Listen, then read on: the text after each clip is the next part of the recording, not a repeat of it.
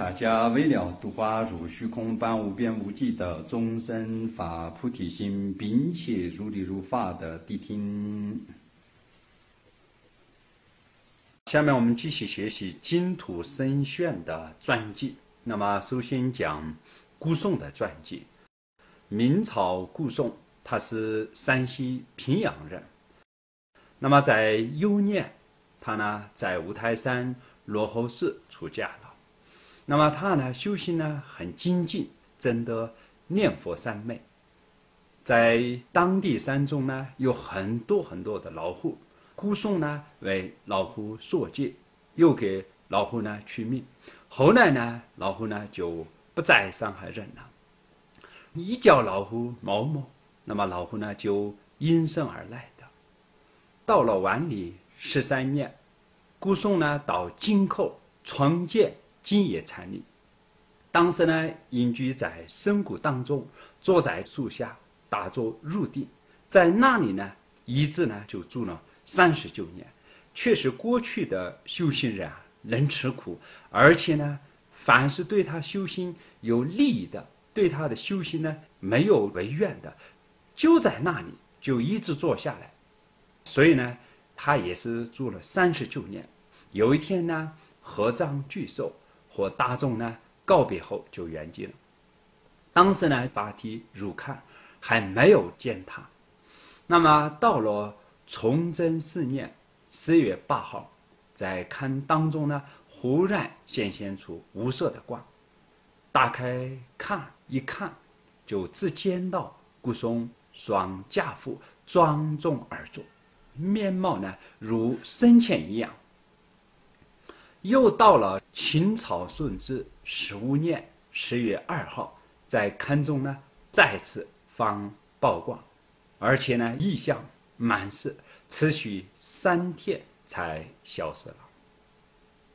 那么下面呢，继续讲宗光的传记。明朝宗光，他呢是钱塘待嫁的孩子。那么他的母亲呢，梦到一位出家圣人用袈裟盖在他的身体上，就生了宗光。那么宗光呢，从小就不喜欢闻新闻，到了十四岁。投金明寺剃度出家，到了十八岁呢，在云栖寺受戒，以后呢，四处游历江西，系天台教官，深入一层。到了万历二十二年，在金陵拜见智伯禅师，当时呢，庆德禅师的受戒。回到武陵后呢，来到十八界，他呢就是西海那里山里幽静。就看木头对石块建造一间小的房子。那么有一天呢，挖地的时候呢，就得到残缺的一个石碑，就知道这里是古代立安寺的旧址，因此呢，重新建造寺院。当时呢，那子呢镜像云聚，就成了一处聪明。那么宗观呢，随即引导很多学人。在禅堂外呢，另外开设了念佛堂。当时呢，正好寒山大师来山上了，他们两人商量这里贵月，把一天呢分成十二次，人员呢平均分为六半，每个半呢各六次静心长佛立拜回向，那么其他的伴呢则各自静坐，听着念佛的。声音，心里呢默念，或者呢修习观门，那么使得东众的修心和经众的修心两者兼得。到了崇祯九年七月十五号，宗光呢忽然生了小的病，当时对弟子说：“今天晴朗，我要去远方了。”那么弟子呢就是说：“师傅病了，想去哪里呢？”这个时候。宗光就说：“你认为我病了吗？”然后呢，就是扶着寿帐走出寝室，借家辅佐，集中大众祝福后事。刚巧有位蔡居士到了，那么宗光呢，拍着巴掌，笑着就说：“巨石正好来作证，我已经等不及了。”然后呢，歇记说道：“一句弥陀五十年，分明决堤讨青天。二今好个正孝心，夜半众生到客串。”这样歇完，看看左右，毕一方就走了。接下来讲一个僧人的传记，啊，也就是明朝净通庙的一个僧人，不知他的姓名。那么他呢，住在常住北门庙当中。那么每天呢，在大街小巷里翘着半只，高盛的仓无常训书，一心念佛，天天呢都这样唱。那么大家呢也都习以为常了，不觉得很奇怪。到了崇祯十三年三月，他呢就是告别所有。邻居就说：“好好念佛，老僧走了。”那么大家不知道原因。第二天呢，他在佛前念相，合掌成佛的命号，端坐就走了。那么下面呢，就是讲海豹的传记。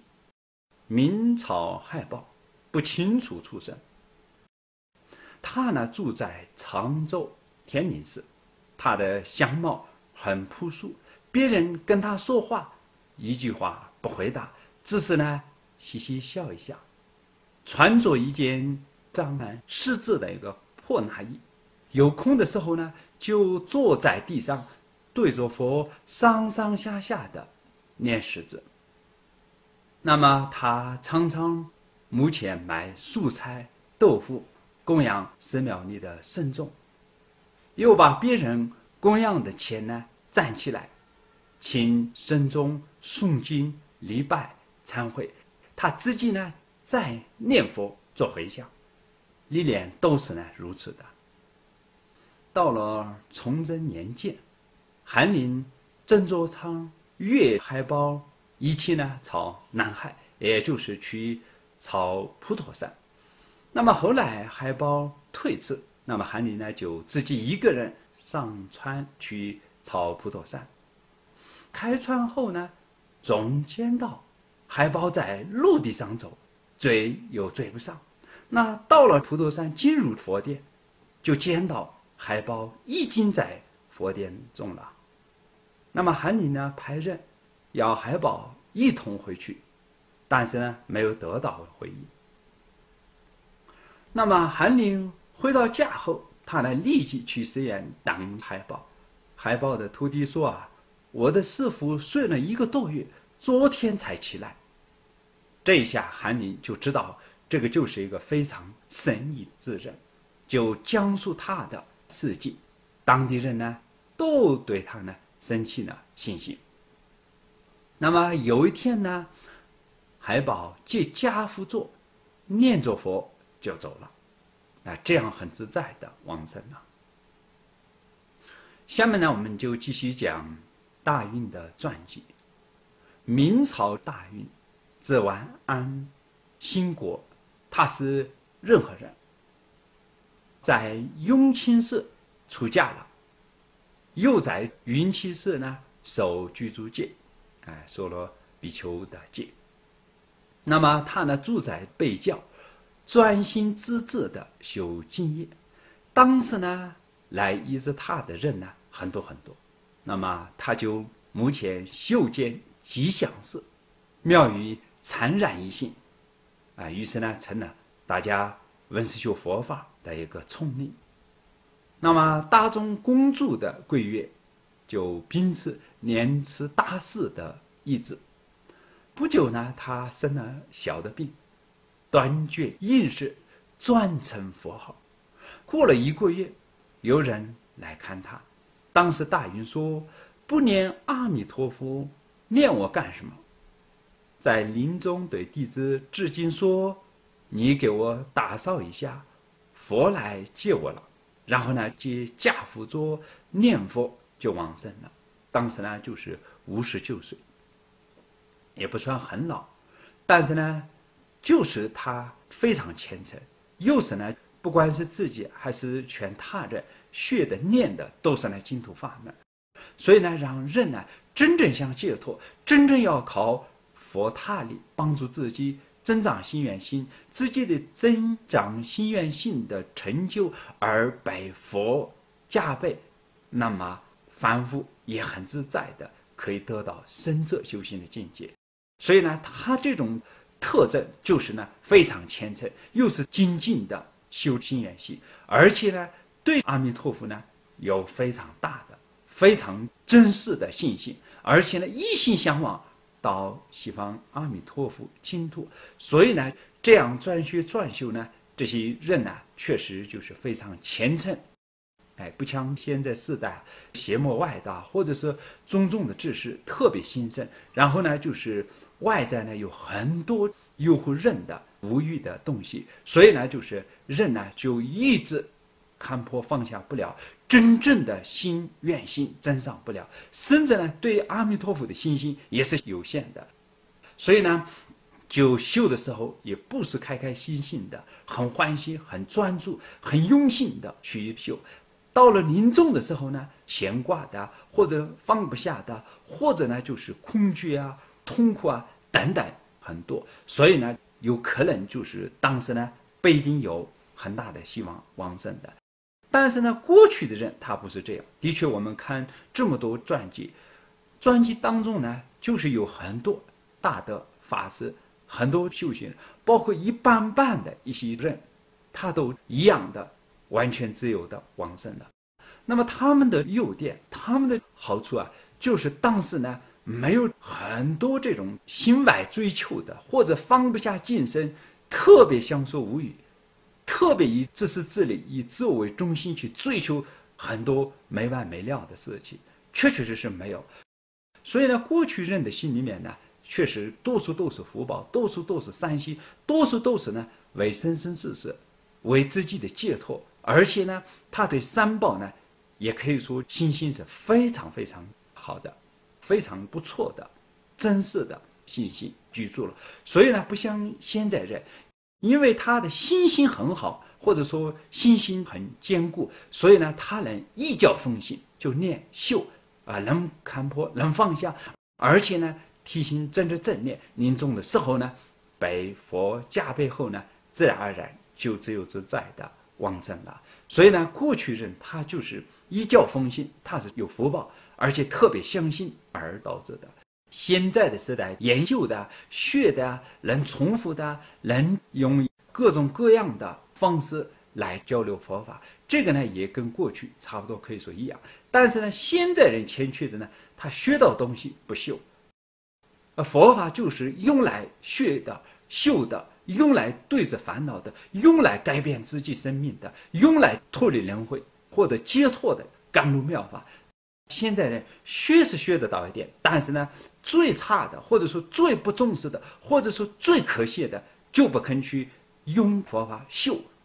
这个就是现在人最可惜的一个地方。所以呢，就是现在人一般来讲，包括佛教徒里面。是年轻的还是老人？比如说，就是十来个、一千个人，有没有十个人真正自由自在的往生西方净土呢？这个不好说了。是这样的，但是呢，确确实实过去的很多感应啊，很多真正不偏终身的大德们留下来的这些往生的传记里面，一看了呢，的确就是过去和现在人呐，差别就在对佛法有没有信心而修，能不能做到一教分信。这上面就看得出来，所以现在很多人心里自己不踏实，到了修行的时候七上八下，就是一个呢信心不足，而一个呢智慧不够，尤其是没有一教奉行，而导致没有相续当中修法的功德，甚至呢到临终的时候啊，自己的真知正念提不起来，或者呢自己的信心不够，或者呢平时呢没有专学专修，到了临终的时候呢，有很多很多的这种。非常恐惧的境界现前，在那时候呢，包括别的人帮助，也就是不一定当时有希望往生的。所以说，就是不管是兼修的还是专修净土的道友们呢，的确不是口，不是心向上，不是一个外在的表示，真真正正的自己的内心深处里面，比什么都还喜欢的，比什么都心里重视的，在自己的心的中央就没有别的，希求这个往生西方极乐世界，而且呢，特别相信释迦牟尼佛讲的净土法门，都是呢一种一心道，得到阿弥陀佛的加倍后呢，就直接往生，获得不退转，必定成佛，这样的一种殊胜的法门。只要心性足够的话呢，确实就什么都好说了。没有心性的话呢，再学什么样的大经大论，估计到了临终时呢，没有很大的希望往生西方净土的。所以呢，关键不是多学为主，而是学到多少能修得到。也就是说，学的东西能用起来，转变自己的身口意，能转变一点也是算一点的进步，能转变很多，那就是很大的、很多的修行的境界就会显现。如果颠倒自己的身口，尤其是自己的心里面贪嗔痴啊，这是自利啊，还有呢，就是自我为中心啊，追求世间法，追求这些轮回的杂染、优陋的因因果果的一个方面去度日子的话呢，不说这辈子，可以说连前界、完界都不一定有希望了脱生死、获得解脱的。所以呢，学的东西能用起来，这是关键。下面呢，继续讲。吴明胜的传记，也就是说，清朝吴明胜就是不知道心命的一位圣人。他呢住在湖广黄州，专念阿弥陀佛，日日夜夜都不间断的，不论见到什么都成阿弥陀佛。到了崇祯十六年，中兵黄丁守奏城的时候呢，吴明胜呢大声的唱着佛，冲在前面。那么被人抓住，当时呢就是干伤张先忠攻打黄州，那么和尚呢坐在城楼上，到了晚上呢高声的念佛，军兵啊睡不好觉，非常恨他，就把他绑起来扔下城楼，不久呢他又在城楼上唱阿弥陀佛，这样呢总共有四次，就是每次呢从东城楼上扔下去又。出现在西城楼上，然后呢，从南城楼扔下去，又出现在北城楼上面。那么总兵呢得知后呢，认为这就是一个神奇的人啊，就对他呢格外的恭敬。另外呢，就是黄州发生大饥荒，那么那个时候呢，人们互相吃人，和尚呢走出城外，灾民们呢拿着刀求他：“你的身体。”不是给我们吃吧？和尚解开衣服，对大家说：“等我念完一千声佛，就可以吃我。”那么等念到三百声的时候呢，这些人呢已经等不及了，一个个呢拿着刀想割肉吃。那么忽然呢，这个时候呢，有圣兵从虚空过来，灾民们呢吓得逃散一空，而和尚呢已经在城里面了。还有呢，就是一个山中的猎人得到一只大老虎，那么和尚呢想赎买放生，猎人呢就说要三十斤，和尚身上呢只有四斤，那么猎人说你能抓住老虎的耳朵走三圈就给你老虎，那么和尚呢首先给老虎受戒，受戒后呢抓住。老虎的耳朵走了三圈，这样呢，老虎呢就被放生了。但是呢，老虎呢很依恋和尚，不肯离开。那么和尚呢就带着老虎前往黄马山的金刚洞。当时巡抚陆相生呢领兵经过黄州，到山上来拜访和尚，那么想看看老虎。和尚对老虎说。你把头探出窗外，陆相生又想看老虎的全身，老虎呢就大叫一声跃出来，这一下呢，巡抚完全服了，向和尚呢献上礼物，并且呢自称弟子而去了。另外呢，有一天和尚坐在街上，见一只鸡，就高声的唱佛，那么鸡也跟着就唱佛。那么到了清朝顺治七年，和尚呢想到乌林去，路过白门，住在秦淮河旁边的房间里。那么在端午节，和尚呢见游船上面呢有的钱僧啊是他的徒弟，就叫钱阿弥陀佛。那么钱僧听到声音呢，就上岸来见和尚。那么和尚就问：“跟你同游的是谁？”那么知道是某某后呢，放声大哭的说：“终生呢亦苦未乐，才这样啊。”那么钱僧呢恳求和尚。这是修行的要诀。当时和尚说：“一心念阿弥陀佛。”又说：“我走后啊，你有什么疑问可以问觉浪，他是明眼人。”以后呢，和尚就不知所踪了。那么接下来呢，我们就讲欧一大师的传记。明朝欧一大师，名智虚，苏心仲，名继明。又名圣，他是苏州巫县人。那么他的父亲其中呢持白衣大悲咒，十年求子。那么母亲今生呢梦到观音大师抱着一个孩子交给他，就生了大师。七岁的时候呢持常在，十二岁呢读书的时候呢以生血自认，做了七十篇批佛的文章。后来呢。饮酒吃肉，到了十七岁，读到年次大师的《自知陆续》和《注创随笔》，真了觉悟，把过去学的论一扫而尽。到了二十岁的时候呢，接《论语》，接到天下贵人的时候，下不了笔。当时呢，废寝忘食三昼夜，心中呢有喜。那么这一年冬天，他的父亲。去世了，读《地藏菩萨本愿经》，发了出世的心，于是呢，每日诵佛名，以前所写的文字啊，焚烧无余。过了三年，听一位法师讲《楞严经》，讲到空生大觉众的时候，忽然就是生起疑惑：为何由这个大觉成为空界所以呢？当时呢，就是。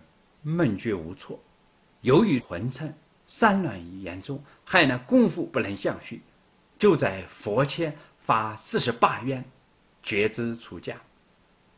那么第二年，也就是天启二年，梦中呢，的寒山大师流泪说：“自恨远播，相见台湾。”寒山大师说：“这是苦果，要知苦因等，还没有等说完呢。”急忙请求弟子自求上层，不愿问师弟法。那么寒山大师说：“且喜居士有相商自愿。”当时呢，寒山大师在潮汐，不能前往义冲，他呢就随寒山大师的弟子学令提督。不久呢，去云栖寺听顾德法师讲《唯识论》，那么怀疑跟。受楞严种子不合，当时呢就是请问，顾德法师说：心中是心中，相中是相中，不容许合会。当时心里惊疑的说：佛法哪有两种东西呢？于是呢就是如金山参禅。第二年夏天，必扎功夫做到基础，所以呢身心世界呢忽然消灭。从此呢，性相二中，意识透彻了。那么第二年就收比丘菩萨戒，而且呢编阅了律藏。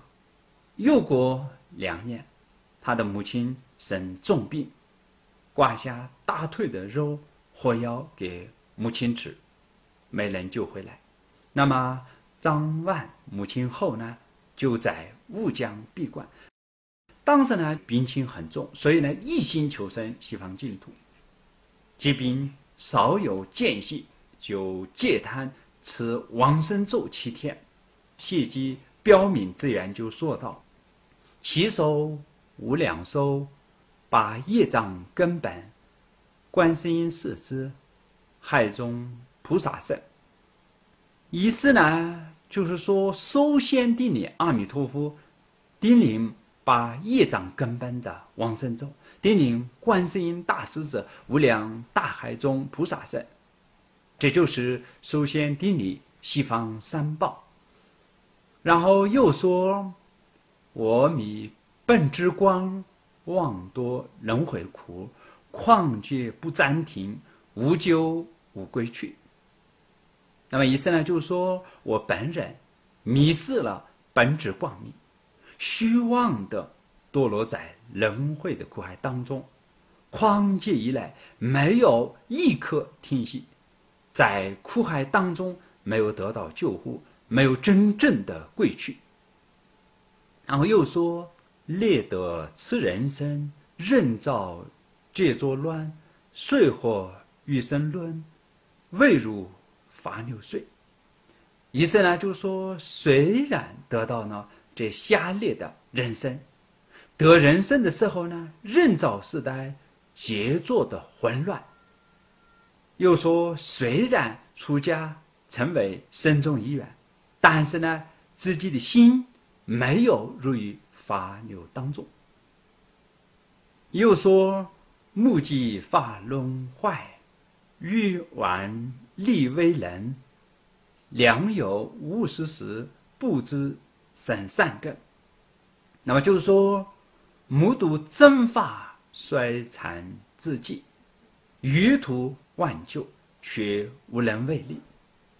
那么说，这都是呢，由我无私依赖没有甚至三根所导致的。又说，今以决定行，求生极乐土，成我本四川，广度成论中。那么意思呢，就说我现在以决定的心求生西方极乐世界，往生后呢？成我的本愿，如在生死海当中光度沉沦的众生。又说：我若不往生，不能满所愿，是故于娑婆必定引舍利。意思呢，就是说，如果我不亡身，那就不能瞒住弘法度生的本愿。所以呢，这一生呢，对于娑婆世界，毕竟应当舍利，而。自居西方极乐世界，又说道：“犹如被泥人，先求即道安，难以方便理，细真普流正。”那么就是通过比喻来做到：犹如沉溺在水里面的人，首先呢，他希求快速到达彼岸，然后呢，才以方便力乘大圆船。拯救生死瀑流当众的众生。又说：“我以至诚心、圣心、回向心，然必想善诸，皆一起敬叹，专持往生走，未出十岁时，以此功德力，求觉生安样。”就是说，我现在以至诚心、以圣心。以回向发愿心，烧三柱壁像，这一个气的惊叹，而且呢，专一的持诵往生咒，唯一呢排除应是水面的世界，那么以此转经持咒的功德力，是求今生决定往生西方安养世界。又说道。我若退出心，不向西方者，令己多凝力，令己身盖会，使不连人田，即以无为除，样愿大为身，力无为不公，三宝无边德，驾悲秩序等，则福是不退，色收领增长。那么这三个寄生就是说，我如果褪色了触发心，中途变心，不趋向西方极乐世界的话，那么宁可在推心的当下呢，堕入地狱，然后呢，速即生心，改悔自新，说我发誓不贪恋人天一切富乐和孝成涅槃无为之处。阳气佛以大卫生实力四无为十八不空法三宝无边功德害加倍秩序等，则复我使我求生西方的心长死不退，摄受我使我的菩提善根日日增长。那么大家需要清楚，这一章就是偶遇大师啊接叹持王生咒的时候所写的偈颂。那么大师住了两年后就出关了，去南海普陀山朝罗家山，那么回来住在龙聚，因为见到啊律学中多有未杂之处，就以红绿为继人。那么首先呢篆书。提拟纪要，不久呢，又准备注解《梵王经》。当时呢，在佛前念旧，抉择之际的所众，就是佛教有很多宗派，到底应当着重弘扬哪一个宗派？那么结果呢，屡次念得天台宗，从此呢，就心与天台教观。那么不久呢，住在九华山，专述梵王合住。那么虽然对律学的解释呢很近，但是呢每次呢自以为共心多有玷污，不敢给人做规范，就在安居日呢烧生香十柱，在佛前舍旧。那么请问是堪作和尚，还是呢应退居为菩萨萨名优婆塞？那么结果呢念到菩萨萨名就。就是应当退居为菩萨萨名。那么从此以后呢，终身不为人受戒。那么之后呢，老人家住过文宁、漳州、石城、圣溪、长水、信安，最后呢归于临风。老人家生平著述呢有四十多种，主要呢有受能言炫义。发花文集会议，呃，人且艺术，未是新药，而以弥陀要戒，提词又为建要，又且是又书生。另外呢，当时呢，诸方禅者多把净土呢视为全教，啊，遇到念佛的人就必定让他禅就念佛是谁。那么大师呢，独为此名义法，即是。圆顿心中。到了顺治十年冬天，啊，生病，一族涂皮后，把骨灰掺和面粉，不施水乳清尿，普及法系，同生西方净土。那么当时集合十五位圣人及净色，以三年为期，每天三时诵佛名，回向净土；二时自经研习，诸大乘经。那么第二年正月二十一号早晨起来，病得很严重，到中午在床上接家父坐，向着西方举手告别，安然的往生了。当时呢就是五十七岁，生那三十四。那么大师圆寂后两年，如法秃皮，当时呢大开看门，一看头发呢长得很长，已经扶住了耳朵。面貌呢如生前一样，而且呢牙齿不坏，那么门人就不忍心呢遵从遗嘱，就把遗骨封安在灵峰塔当中。那么后人们呢尊封大师为净土宗的第九祖，啊是这样。二位大师的传记讲完了，下面呢继续讲入会的传记。清朝入会，他是孙天任。哎，小时候短弱，到了二十九岁就出家。历史呢，心头陀性，也不捣蛋，前后呢染了六个字头，忏悔往昔所造的罪业。另外燃丁扫壁不计其数。那么最初呢，到南方为呢修苦行，后来呢因道友干法，一心念佛，因而呢豁然开朗，忘了身心世界。见到人呢，从不说韩文、应酬话，教诲人呢，必定猛力恳切的。那么平常之际呢，单修独信的，不虚己障物，就是说不虚极多余的东西。到了夏季，就把冬季的衣服全部射掉，冬季又把夏季的衣服呢完全就射掉。另外呢，曾经在隋朝案对六道臣说：“一心念佛，专求上品上生，就是向上第一。”以后你们会相信这句话。那么到了顺治五年秋天，过淮安清江铺，大家共同留他住下。不久，他以一件纳衣，赠给万德安住人，而且嘱咐说：“我不久要走了。”特有一件事相托，那么主人说：“和尚差来，怎么这么快就说走了？”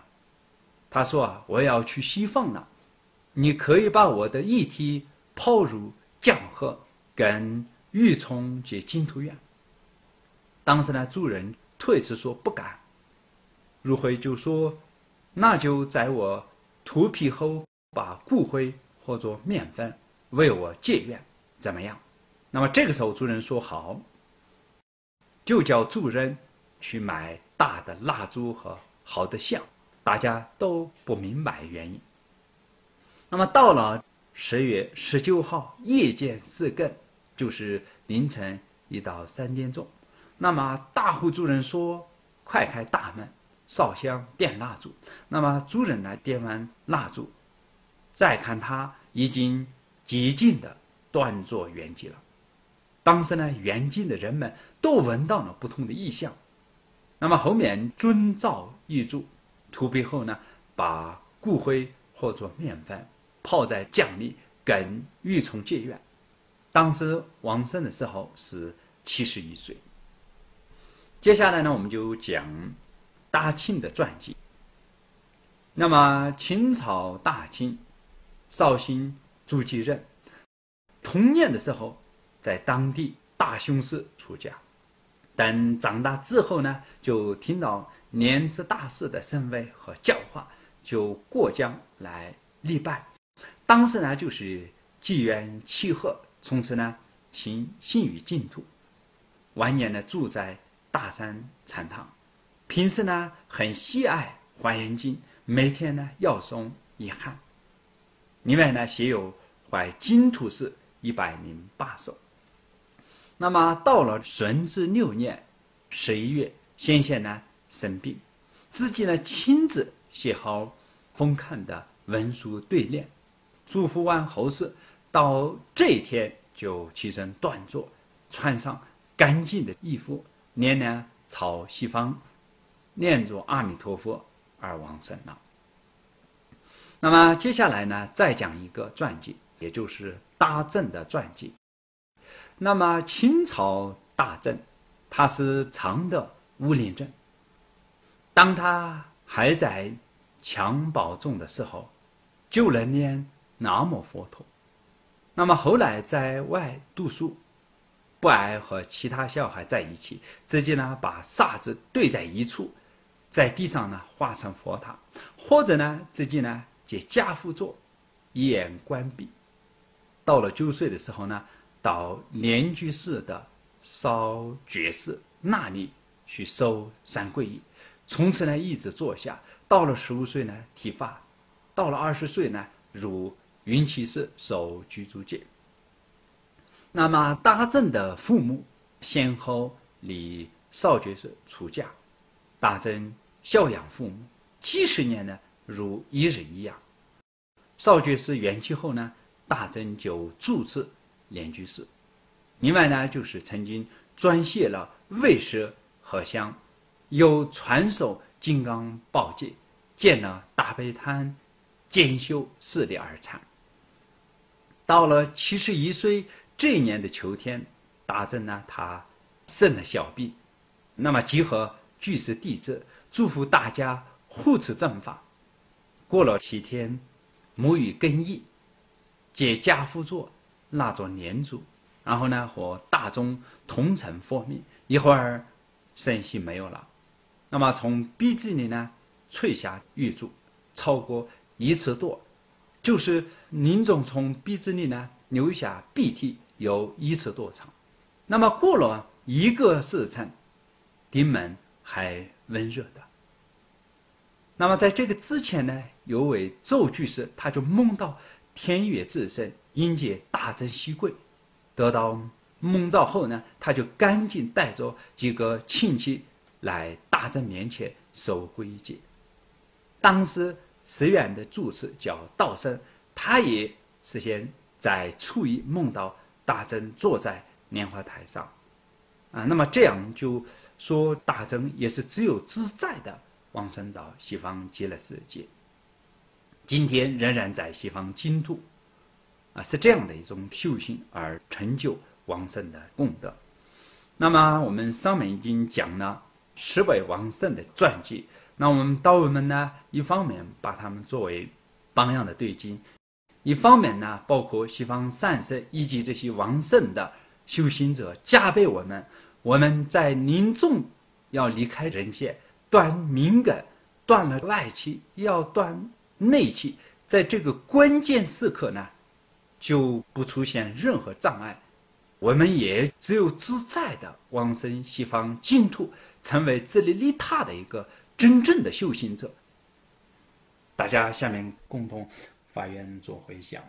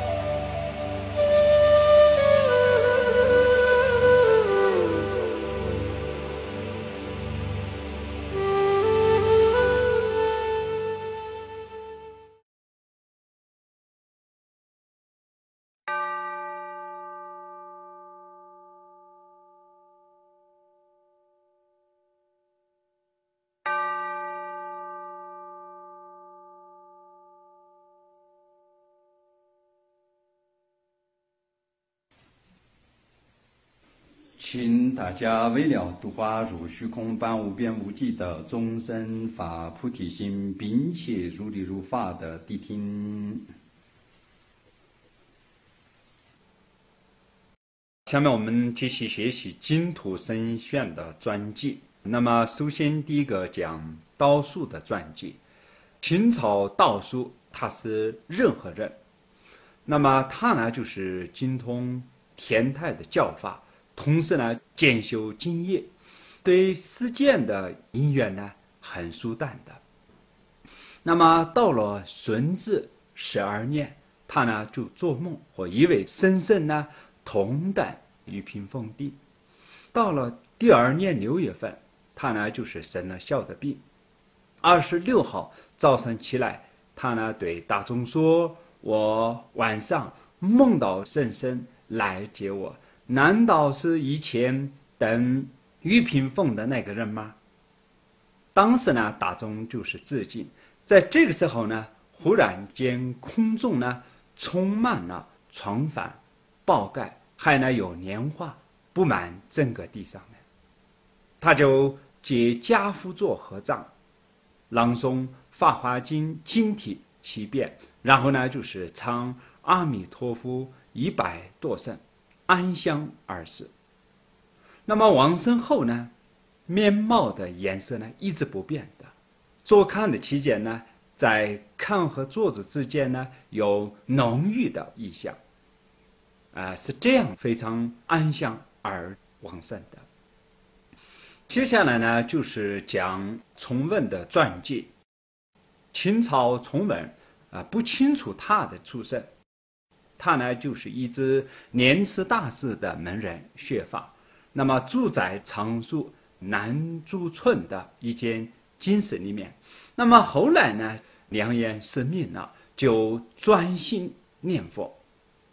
每天夜晚呢，都蹲坐四时瑜伽严口，连续三月呢不间断的。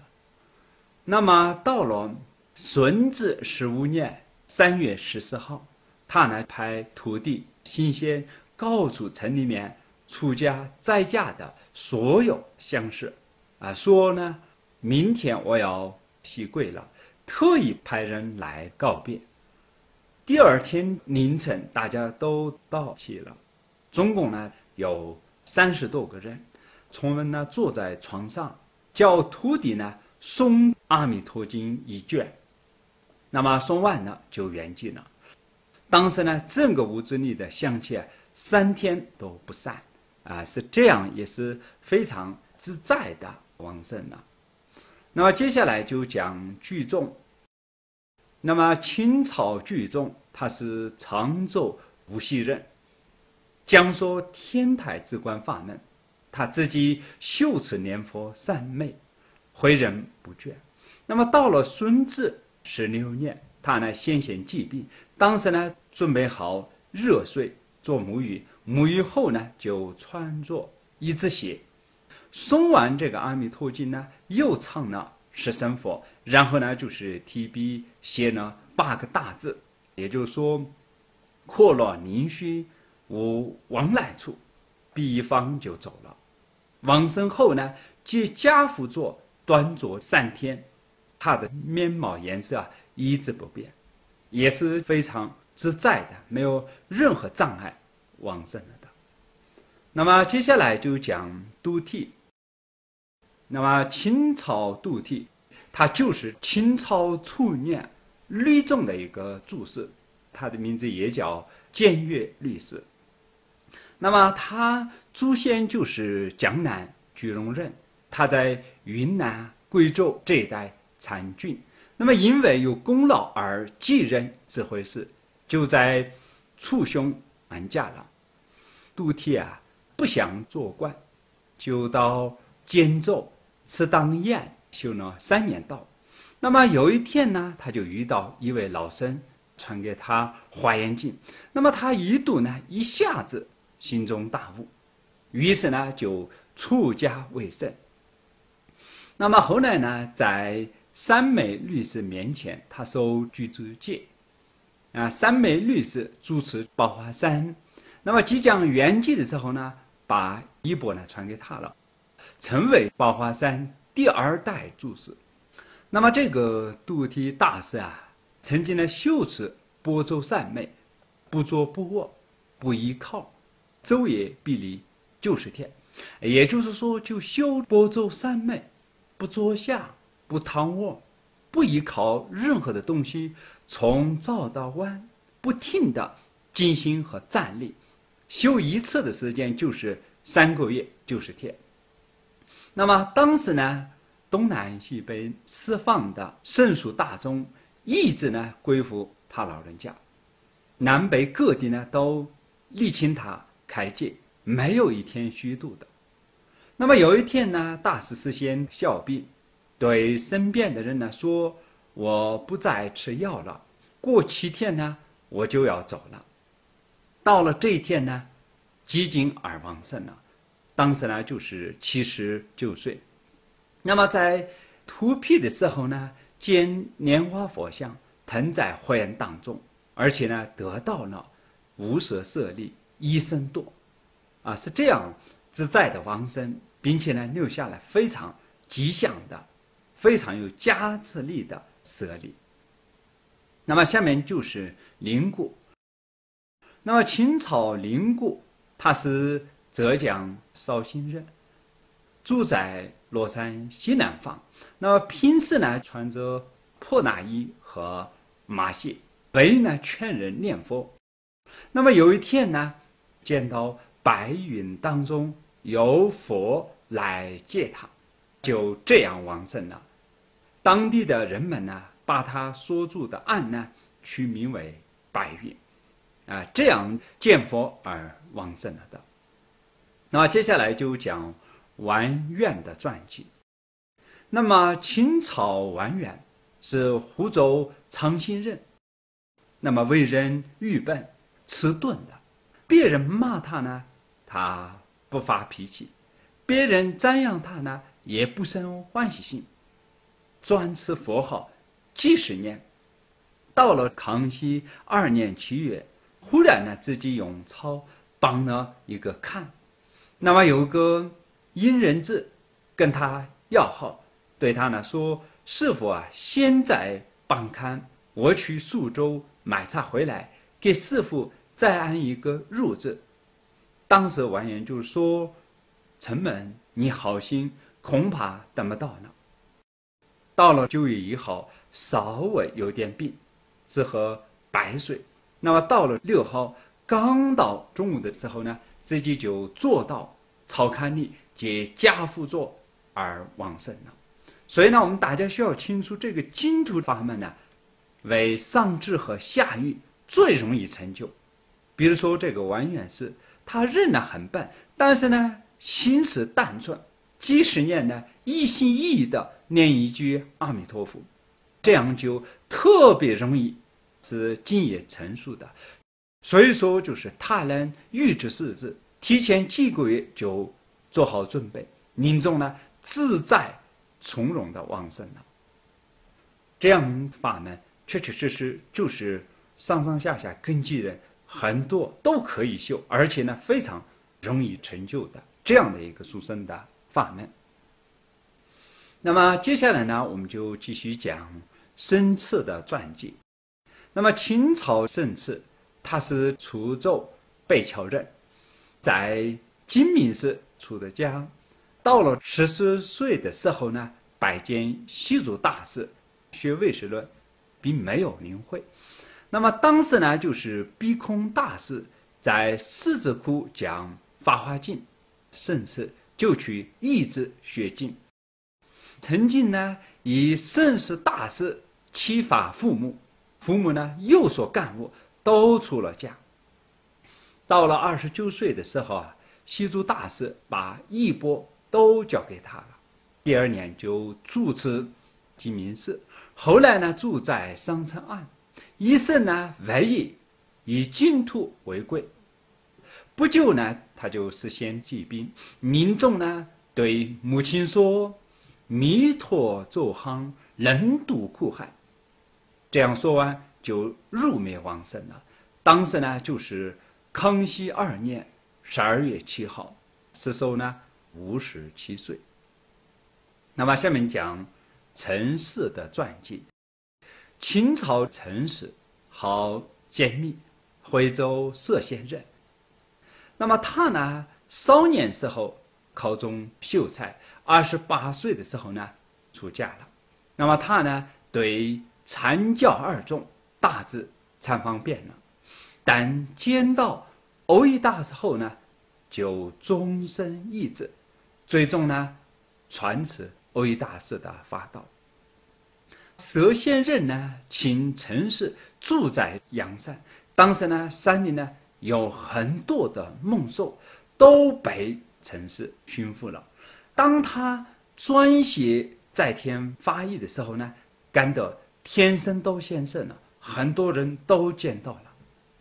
那么后来呢，来到江陵，朱熹在天界办法，弘扬欧一大师的义教，而且呢清修敬业，每天呢都有日课，不管严寒酷暑，都没有丝毫懈怠的。另外呢，就是可因金兔是药，为书作序，常言金兔的药字。那么到了康熙十七年十月十五号，在江宁半方圆寂了。三天前呢，异象呢环绕放物，啊，有这样的迹象的一种现象，而且呢，他也是一心一意的专学撰修金兔。护持弘扬这样金兔的法门，最终呢，他圆寂时候也是呢很自在的往生的。所以呢，就是过去人呢，他不管是遇到哪一种法，他就是一教奉行，学到多少他就用来修。修的东西呢，他不是一般我们为了时间生存吃一口饭穿一件衣服，他的心里呢，就是想一定要达到成就。为这个目标一交奉行，而且呢，到临终的时候呢，除了自己的心相许以外，其他的一切一切呢，都需要分离的。到后世的时候呢，一生当中所追求的，或者是为了实践的办法做的一切事，在这个时候必定是无利有害的一种结果会出现的。但是呢，过去人他修的时候呢，他心里非常有数。知道暂时住在人间，比如说他知道住十年或者十五年，或者呢就是五年、三年，这样短暂的时间一过了呢，这一切一切的娑婆世界的东西啊，全都需要放下的。真正就是在自己的心里面，在一生当中修佛法积累的质量，在临终的时候呢，对他呢就成了最大的利益，也是唯一的辅助，唯一的去救度。纠霸的一种作用。那么下面讲新策的传记。秦朝新策，指介六新将。那么他的父亲蒋全畅，他就是一心老入，和寒山大师是好朋友。那么寒山大师圆寂后的善念，也就是天清六年，这一天晚上。全仓他梦到寒山大师走进房屋里面，就生了这个儿子，所以呢取名为蒙汉。那么等到孩子长大后呢，父母亲相继去世，他就发了出世的心。那么到了二十三岁，投考武林练士的阮文公出家。那么出家后呢，五年。一直呢就是不到旦，敦策法院。那么这个文公圆寂后呢，新策就住在报恩寺。那么遇到同参献应寺，劝他呢修持敬业。又遇到了钱塘乔氏法师，因他呢读天台教法，才一同进入进士，修法华三昧。那么这次修法期间呢，数回敦痛，穷则教髓，意思呢就是说一下子犯了数回，顿时呢通达了天台教法的精髓。那么到了康熙二年，见在杭州法华山西溪河里的小块陆地当中，就专修净业，因此呢，把住处呢取名为莲福庵。那么后面到了康熙九年，又去玉山仆人院创建莲社，当时呢，学者一直呢崇仰他。那么大师呢，在仆人院住了十三年，到了康熙二十一年七月九号圆寂了，时寿五十五岁。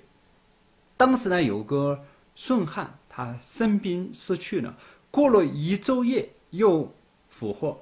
那么对人们说：“我被名师构色，绑在阎王殿下，黑暗中忽然见光明，照住天空，香花布满虚空。当时呢，阎罗王伏在地上，迎接西跪的大师。我问大师是谁，说是戒六。我被大师的光明照到，就被放回人间了。”还有同一天，有个姓吴的人也是病死，那么过了一晚又复活，他讲的说间和顺汉一模一样。后代的人们呢，尊封大师为净土宗的第十祖。那么下面继续讲海润的传记。清朝海润，他是淮安山阳人。那么到了康熙二十九年三月，到达江阴华山，当时呢就是二十几岁。大家问他修什么法，他就是说我念佛。又问你来这里干什么呢？他就说我为生世的事而来。那么到了十月初一中午的时候，海润是啊就要离开。大家问他去哪里，他说：“到时候自然会见到的。”那么到了这一天，大家忽然看到山顶上呢火光照亮天空，急忙赶过去看。这个时候呢，只见海润在贵人峰上接家父座，火呢从眼、耳、口、鼻当中发出，把身体烧了。那么许久呢，身体一直端坐，等火烧完也丝毫不动。当时呢，就是无锡曾经有一个庙，庙里面的僧人没有什么长处，就赐回念佛。那么有一天，他对大家说：“我明天要走了。”到第二天问徒弟：“太阳升到中天了吗？”那么徒弟说：“还没有升到。”他说：“再等等吧。”过了一会儿，又问起来。徒弟说：“正在种田。”他就上桌接家父坐，口里呢喷火，把身体全部烧完了。那么接下来就是智难。秦朝智难，他是苏州常熟人，他呢住在东塔乌王岸。那么真天呢，默着念佛。别人给他钱，他呢专受就不是掉了，而且啊，他的心情坦率，对什么都不牵挂、不留恋的。祠堂里的几个善人平时呢归心于他。那么到了康熙三十年六月，这几位善人京城来拜见智难。那么当时智难就说：“来月五号。”我要和各位社主告别了。这一天呢，大家都来看他。那么自然没有别的话，只是呢，劝人专心念佛，然后呢，即家父座往生了。那么下面我们再讲明洪。那么清朝明洪他是杭州人。那么他刚成年的时候，他的父亲就给他娶妻。他呢从家逃走，母亲呢为这个事把双眼都哭瞎了。后来呢，父母相继去世，他呢才在绍兴柯桥的弥陀庵剃发出家了。那么不久呢，他就参访住三智士，学习天台教观。那么在初禅的时候呢，他内心呢有所信法。后来呢，在天台。晚年时阅藏，哎，阅读大藏经。那么时间久了呢，当时他的双眼就变瞎了。这个时候他就说：“这是我违背父母慈信的报应。”那么从此以后呢，他就一心念佛，寒暑不断的。而且呢，他曾经这样说：“我因为市民而得到了大利益。”而且呢，他平时啊，亦步亦涨，没有一个固定地方。还有呢，就是他得到的功能呢，随手就布施给贫穷的人。仙大师跟他相交，曾经对他说：“你决定回生净土。”认为他有善证，也就是说，正解脱。正干净，正精进。那么到了雍正五年九月，仙大师在梵天寺举行佛七，那么找明弘来参加。当时呢，明弘身患痢疾，生命却毫无懈怠。等大期结束，又去戊戌再生，在这个时候，他的病情呢更加严重了。那么有一天呢，他告别一切的世俗。预定明天就要往生了。第二天，大家安适到齐了，明后呢就起来，端坐念佛，合掌而圆寂了。所以呢，我们想一下，确确实实佛法不可思议啊！一般的一个凡夫，在临终断这个敏感，现前种种的畏惧、苦难的状态，一般人来讲非常不自在，甚至呢，在。今生今世当中造了很多严重罪业的人，在临终的时候呢，自己的业力现前，种种的恐惧啊，种种的让人产生痛苦的这些迷乱的境界会显现。但是呢，修佛法的，他有归宿，他有目标的，最终离开人间的时候，端坐念佛，合掌说走就当下就走而圆寂，太感动人的。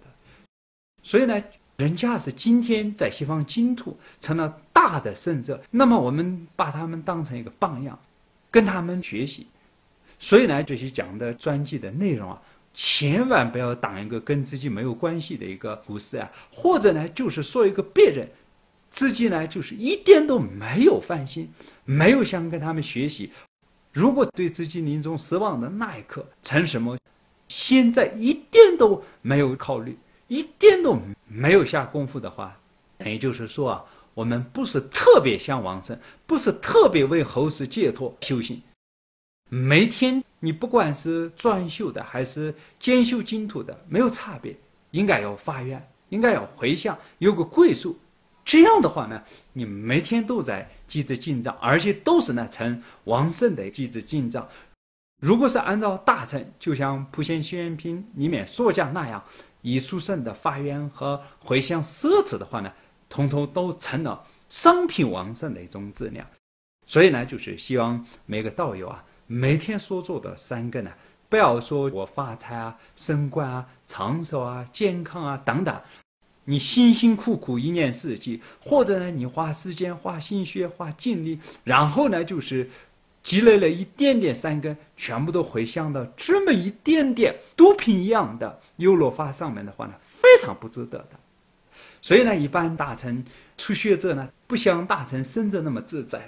他发愿的时候呢，就是说，任何追求时间法的一切一切，我一点都不追求。假使业障习气，或者是一种外在的其他的因缘。追求这个时间法的时候呢，求三宝加倍，一丝一毫都不让它成就，这样来彻底远离时间法，彻底放下追求时间法的贪着的心态。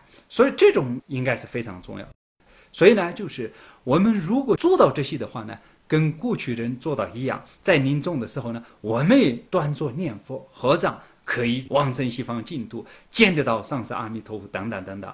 啊，一切一切跟过去呢百分之百一模一样的可以成就，所以呢，就是听到啊、看到这些专辑的时候呢，应该当成自己的榜样。我能去这样做，我能这样积资心脏，我能这样精进，我能这样虔诚的心，我能这样为了一个往生的目标，能这样发愿回向，那多好啊！而且越要上品往生，越要做到自利利他的话呢，越以出离心和菩提心设置下去专学专修，那功德多大，不可思议！没有往生之前，都成了人间大菩萨的身份呐，是这样的。所以呢，就是看到这些传记的时候，应该对我们一种启发，应该对我们一种触动，应该感动我们，应该像我也跟他一样学习，不懈怠，不懒惰，不能随便花时间。一天到晚，你哪怕就是没有文思秀的时间，你的发型调整，就像刚上面说的，人家是正解脱、正干净、正精进，有目标，发心清净在做，那最终他非常自在的往生了。因为毕竟每个人啊，人人都是按照这样修了成就的功德，给我们留下这样的一个成就的传记，感动我们的一种加持力啊。所以呢，就是年轻人再累，要看一看金图生炫的传记。年轻人想一下，再年轻也就是有可能十年、十五年。顶多就是二十年，这个时候你也不在人间了。确确实实，就现在大家都知道，一天不知不觉过了，好像一个月又不知不觉就被别人抢走了一个东西一样就过去了。我说又一年过了，那不知不觉人的身心各个状态上看了呢，生老病死当中，老的这个相状呢越来越接近了，身体也不好，处处生病，然后呢记性也越不好了，然后呢事情呢很多呢就。做是想做，但是呢，做的时候身心的力量还是有限的。或者呢，哪怕就是放松下来，想好好闻思、好好修法，但是呢，就是老的时候，他的这种记性啊，或者观察，或者呢辨别啊，或者呢抉择的能力，已经打了很大的折扣。那个时候再学、再记、再背、再复习、再想精进的学，也学不动了。自己的身心上面要改变轮回的话呢，那么自己身心上要学修佛法才。真正搞定生死大事的问题啊，啊，所以呢，就是在修行的道路上呢，学习这些专辑是非常有必要的，因为这些专辑啊，一生一生他修行而得到这样成就的功德。那么接下来再讲一个传记，那么讲的呢就是明德的传记。清朝明德他是杭州海宁人，到了十岁的时候，就在梵天寺出家了，到了十六岁剃发。然后呢，自己呢，纯粹就是有戒脱法。他的一种心情呢，就是孤僻，不喜欢世间的事物，哎，一改就是放下世间的杂事。等三十六岁的时候呢，要去律师面前求解，忽然呢得了哮喘的病，而且呢日益严重。那么他有个徒孙叫一位，那么请了几位圣人在寺庙里面开净业堂。那么西安大师当时也参与其中，那么金叶堂呢很殊胜的，包括当时呢西安大师都参与了这个里面。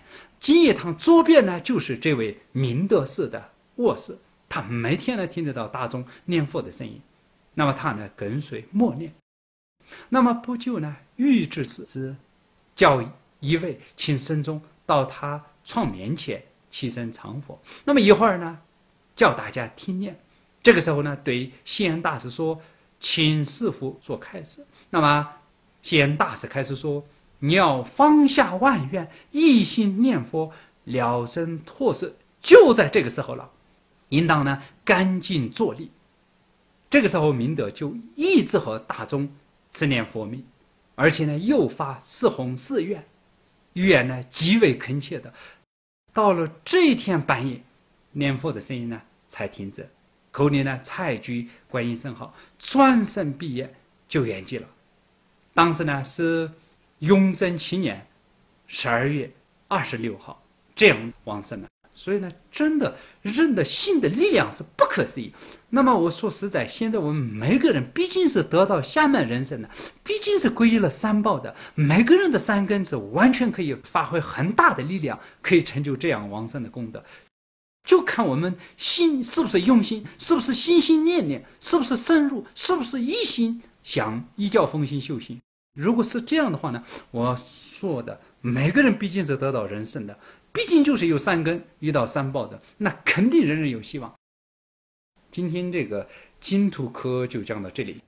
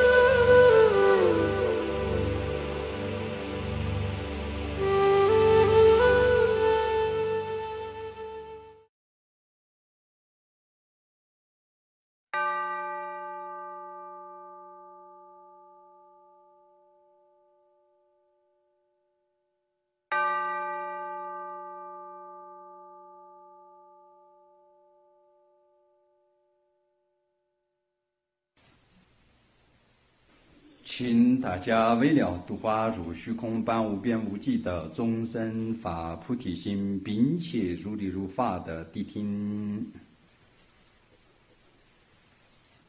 今天我们继续学习金土僧宪的传记，呃，那么首先讲西安大士的传记，也就是说清朝释宪就是西安大士，那么他是常住释迦的质地。那么从小呢就不吃荤，出家后呢参念佛是谁？那么心里呢有信。那么有一天呢，他就说我的梦醒了，然后呢就在真济寺闭关了三年，在三年当中呢，白天呢阅读大藏经，晚上呢念佛。那么又到宁波立哀王佛塔，曾经在佛涅槃日呢集合。出家和在家的神属大众光修供养，而且呢，在佛面前呢，染指发四十八大愿，感得呢佛舍利放光。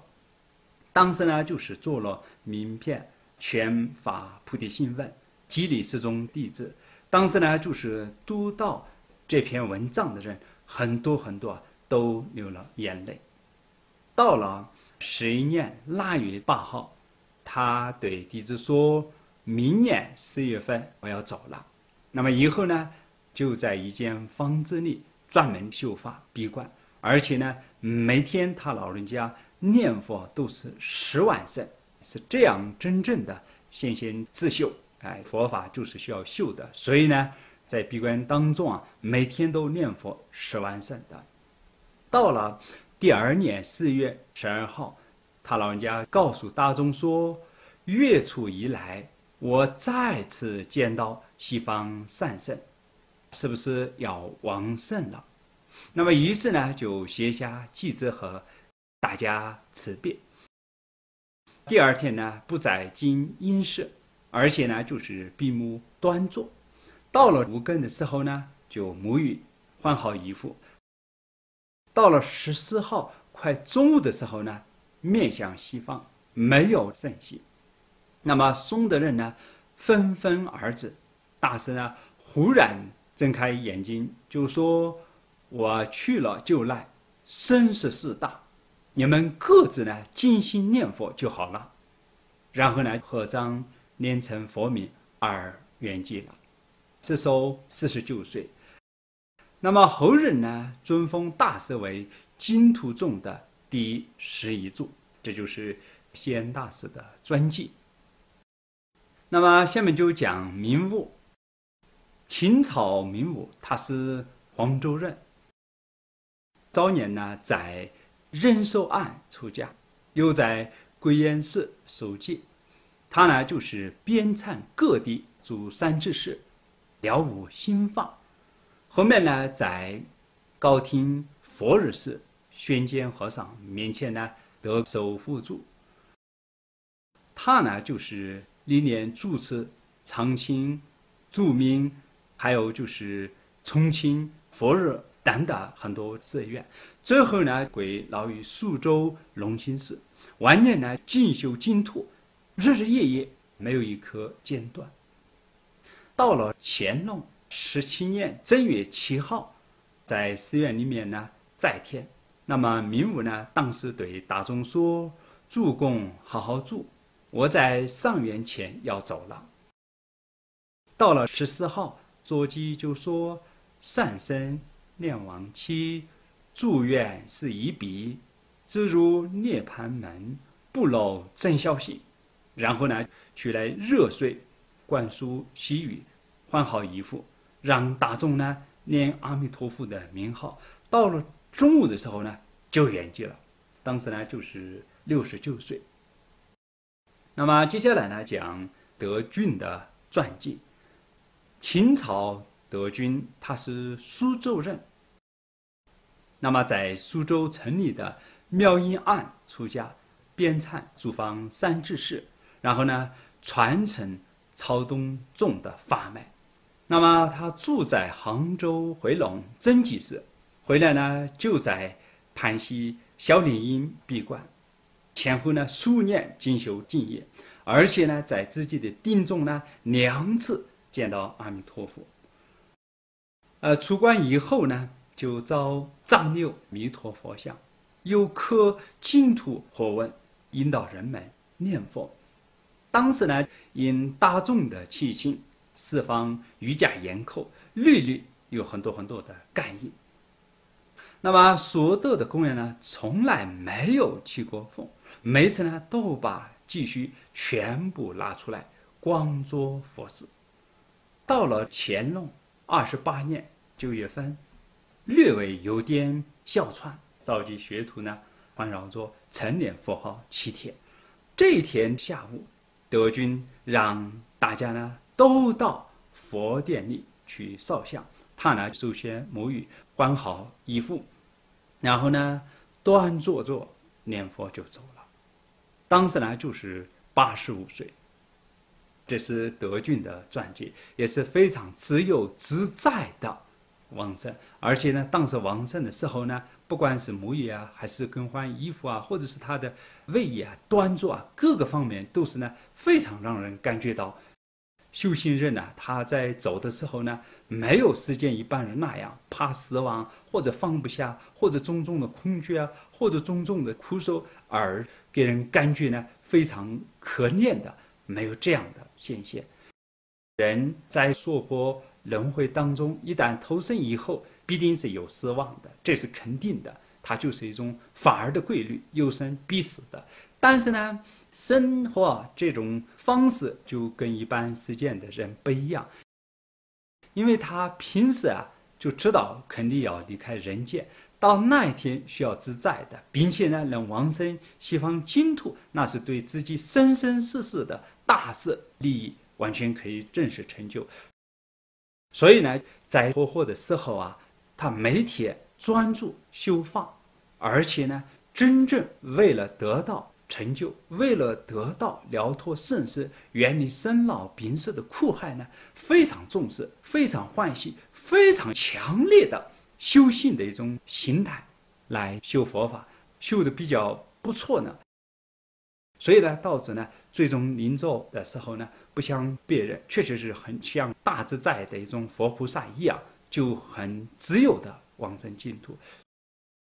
所以呢，现在我们不管是老年人还是年轻人，你能不管你身可以做什么样的一个事情，全都涉及到往后世、往解脱、往真正往生成就这样的一个目标上面去修法的话呢，的确佛法的价值不可思议。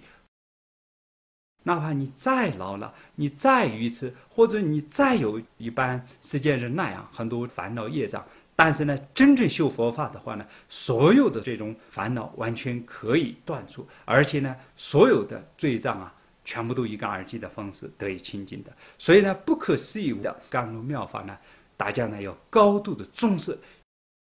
现在呢，我们不是。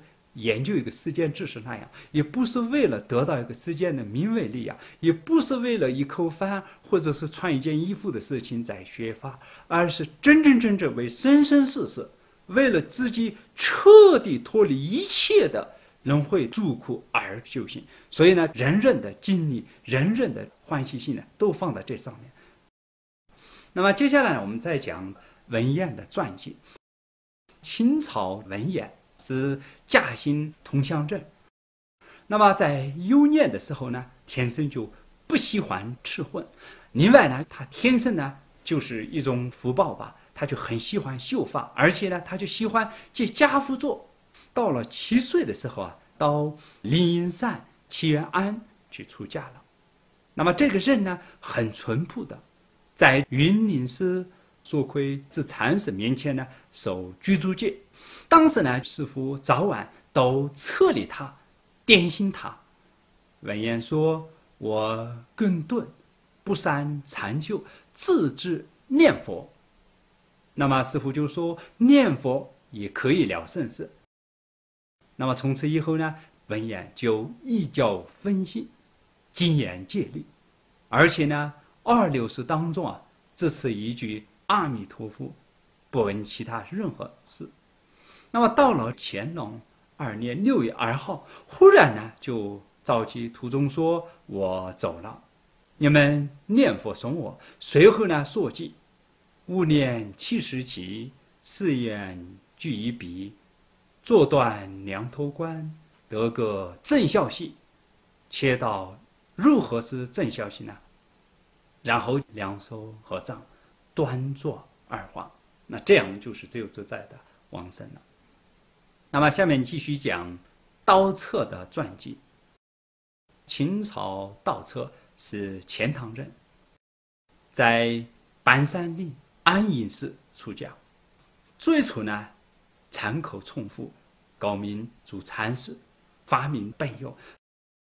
不久呢，专修净业，在杭州北门外四十里大翻桥的文殊庵当中呢，结起闭关。那么屋里呢没有其他任何的东西，只有一张桌子、一张床铺。闭关才几天，他就生病了，非常的艰难。他自己呢，本法说：“我念佛正是为了了生死，怎么能因为圣病而中断呢？”因此呢，就念佛更加的恳切。一会儿有金光照亮房屋，光明当中呢。阿弥陀佛给他默定，当时呢就是病忽然痊愈了，啊，由此呢正得念佛善美，心中说我都没有别的念头，没有任何不干净的、不清净的这样的杂念，他都是呢专注专修，因为已经证得念佛三昧，所以呢连心住作恶位当中都没有别的追求轮回世间法等的念头。闭关三年后，三月十五出关，身着将近说法。说完法后，又对大众说：“我要在七月十五后西归了，你们可以来送我。”那么到了这一天，大家都来了。倒车大师正在设一篮盆会，大家重复他以前说过的话。倒车说。是有这回事，你们可以留下来稍等一下。那么第二天呢，他就请来他平时要好的重复圣，嘱咐他呢主持寺庙。又过了一天，舍在和大众告别，刚到中午，自己就坐在龛中，然后呢闭着眼睛说话了。一会儿呢又复活过来，对大家说，跟大家怨别，人没有一句话吗？说破自苦，不可说，不可说；极乐自乐，不可说，不可说。如果记得我的话，就自念阿弥陀佛。不久我们会在西方净土再见面。错过此生，长夜论专，太可悲痛啊！这样说说完了就往生了。当时呢就是四十八岁，这是乾隆十九年的事情。那么接下来呢讲陈著的传记。秦朝陈著，徐州铜山人。少年的时候就出家了，二十岁在宝华山受居住戒。然后呢，遍参诸方三知识，那么在天童寺时候侧宫这里戒法以后呢，他就专修净土法门。到了乾隆十二年，住在苏州慈林寺，乾隆皇帝南巡，驾临寺院，给寺院呢赐号为化忏。那么他每天率领大众四次聚会。常年佛命，往往到灯烛燃尽了，香烧完了，大众都退下去的时候，他还唱佛不断的。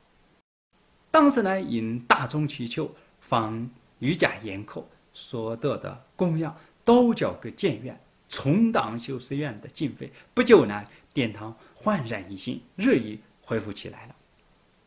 那么他呢，就是每天中夜。修大悲禅，从不躺下睡觉。那么有一天正吃着佛命，母语掉在地上，忽然有心。从此呢，他随口说记，就像过去曾经学过一样的。见到巨师来问法，他就说：“娑婆苦，何不跟我一起去西方呢？”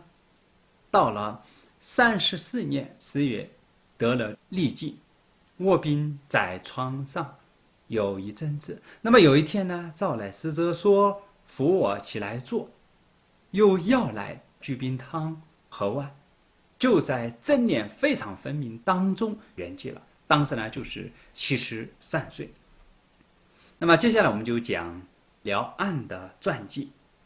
清朝辽安不清楚他的出身，曾经呢游历丛林，禅就很切实。那么晚年呢，他就修持敬业。到了汉口，在七阴寺安旦，当地居民严氏埋怨供养他。不久，他就生病。当时呢，对严氏说：“可以送我回江南了。”严氏呢，准备了船送他到金山，又送回江陵某一个寺庙当中。那么有一天呢？他在庭院里对好菜，坐在菜上面，连声称阿弥陀佛，招来大家点火，大家没答应，他就催促赶紧点火。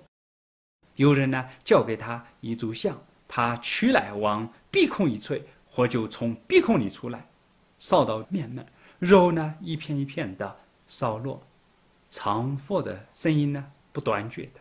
那么这个火啊更加大起来，隐隐听到佛声向西而去，不久呢就圆寂了。他呢一住途中把他的骨头磨成粉，然后呢喂养江河里的鱼，接金土院。那么他的徒众们呢还是遵照而办了，是这样的一种修行人，也是很自在。最后呢就往生。而且呢，连他的骨头啊，都是呢一辈子发愿，然后呢求三宝加倍，尤其呢求阿弥陀佛以及他修的这种法，以及念的佛的名号，把自己的身体的骨肉啊等等都做了殊胜的价值。随后呢，他就想到，不但是自己，连很多江河里的非常可怜的这些鱼类啊，都得到净土结缘的一种殊胜的因素。所以呢，就是。他一辈子念修的时候，这样专注发愿回想，甚至呢对旁生做帮助的那颗修心力加刺的骨头胆，都最后磨成粉以后呢，喂养这些江河里的鱼。这样的话呢，让他们也直接间接得旺盛的一个因素。所以呢，过去的大的他的这种心量很大，心地也是非常善良。然后呢，他就是专修专修，他自己涉及到佛法的力量不可思议。一半的一个不干净的、不清净的肉体，以及一半的一个骨头，都可以通过修行的力量加持后呢，让旁生都可以直接间接成一种解脱的因素，都可以创造出来。这些都是呢。修行的力量，也就是说修三法的加持力而成功的。那么接下来再讲四定。秦朝四定，他是松将，上海人。那么二十多岁在天泰晚年时出家，并且呢遍参诸方善知识，他呢发明心地，不久呢就是主持天目山的禅院寺。晚年呢，到了苏州，住在文心阁当中。那么曾经他就说：“大奔自人，恭维其语助身，深得净土，过心方愿。”那么意思呢，就是说辽大奔性的人，自是因地的佛，论功心还没有达到主生地位，所以呢，要悟后往生净土，才功心圆满。成就过地佛，所以呢，他常常呢提倡念佛法门，并且呢写有净土诗一百零八首。到了乾隆四十二年，回到江阴香山寺，十二月份他就生病了。第二年正月初三，已经病了七天。赵成问弟子说：“哪一天立春？”弟子回答说：“再过四天。”那么又问今天是什么日子？弟子就说假日。这个时候呢，斯丁是就说今天好，就起来坐坐，祝福完后事，又靠着枕头躺下。到了黄昏的时候啊，起来了，把大家叫来，又让人呢扫睡，洗好了自己的手，念声成阿弥陀佛。大家请他六记，他就说。祭足传旦，借须香，开汤说法贵大罗，必恐今朝年真料，莲花刺伤见弥陀。这样说寄送，说完祭后，非常寂静无声。大家唤他，已经走了。当时呢，就是六十七岁。他的法师忌讳。至律听也修念佛善昧，临终呢坐机和大众告别，也非常吉祥的圆寂了。那么下面呢，我们再讲寺院的传记。秦朝寺院，也是松江人。早年的时候呢，就有出世的志愿。十八九岁的时候呢，他父母亲已经准备好给他娶妻，有一段时间。他呢，就是夜晚走到一所寺院，求住世的僧人给他剃发，然后呢，去宝华山受了居住戒。那么他家人呢，向官府控告这位住世的僧人，官府呢就下命令，让住世的僧人去寻找寺院。当时呢，就是寺院穿着出家僧人衣服回家了。他就说：“我已经落发未生，来不及了。”那么父母呢，把他关在一间房子里，他呢日常借家父做，不吃不睡。父母呢不得已才听任他正式出家。那么松江城呢，当时有个出家圣人闭关拜华严经，还没有拜完就去世了。寺院继续拜经。以了却他的意志，不久呢，来到金山修波州三昧，修满了一百天。到了乾隆二十五年，住在常州田林寺，如念佛堂，日日夜夜念佛不断。到了二十八年三月，有点小病，他就集中念佛，把袋里的钱全部拿出来供养。那么过了三天。沐浴后具足卫衣，随大众呢进殿堂，之后呢家父而坐，常作阿弥陀佛的名号，就圆寂了。那么接下来就是恒毅的传记。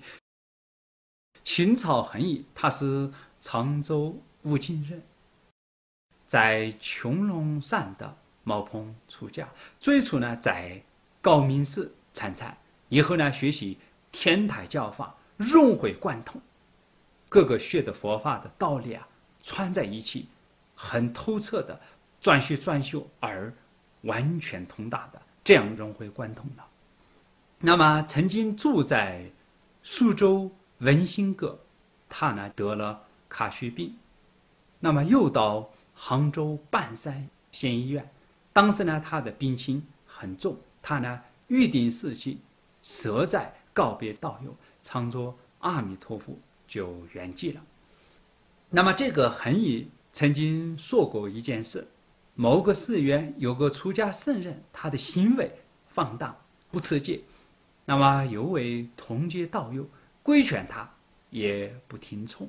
那么后来他病得很严重，找来这位道友说：“我没听你的话，所以呢才到这步田地。现在怎么办呢？”那么这个道友就说：“西方阿弥陀佛有本愿力，造业众生十年念佛都能梦佛接引，你信得进吗？”那么他说：“我相信，但是呢，我体力不支，怎么办呢？”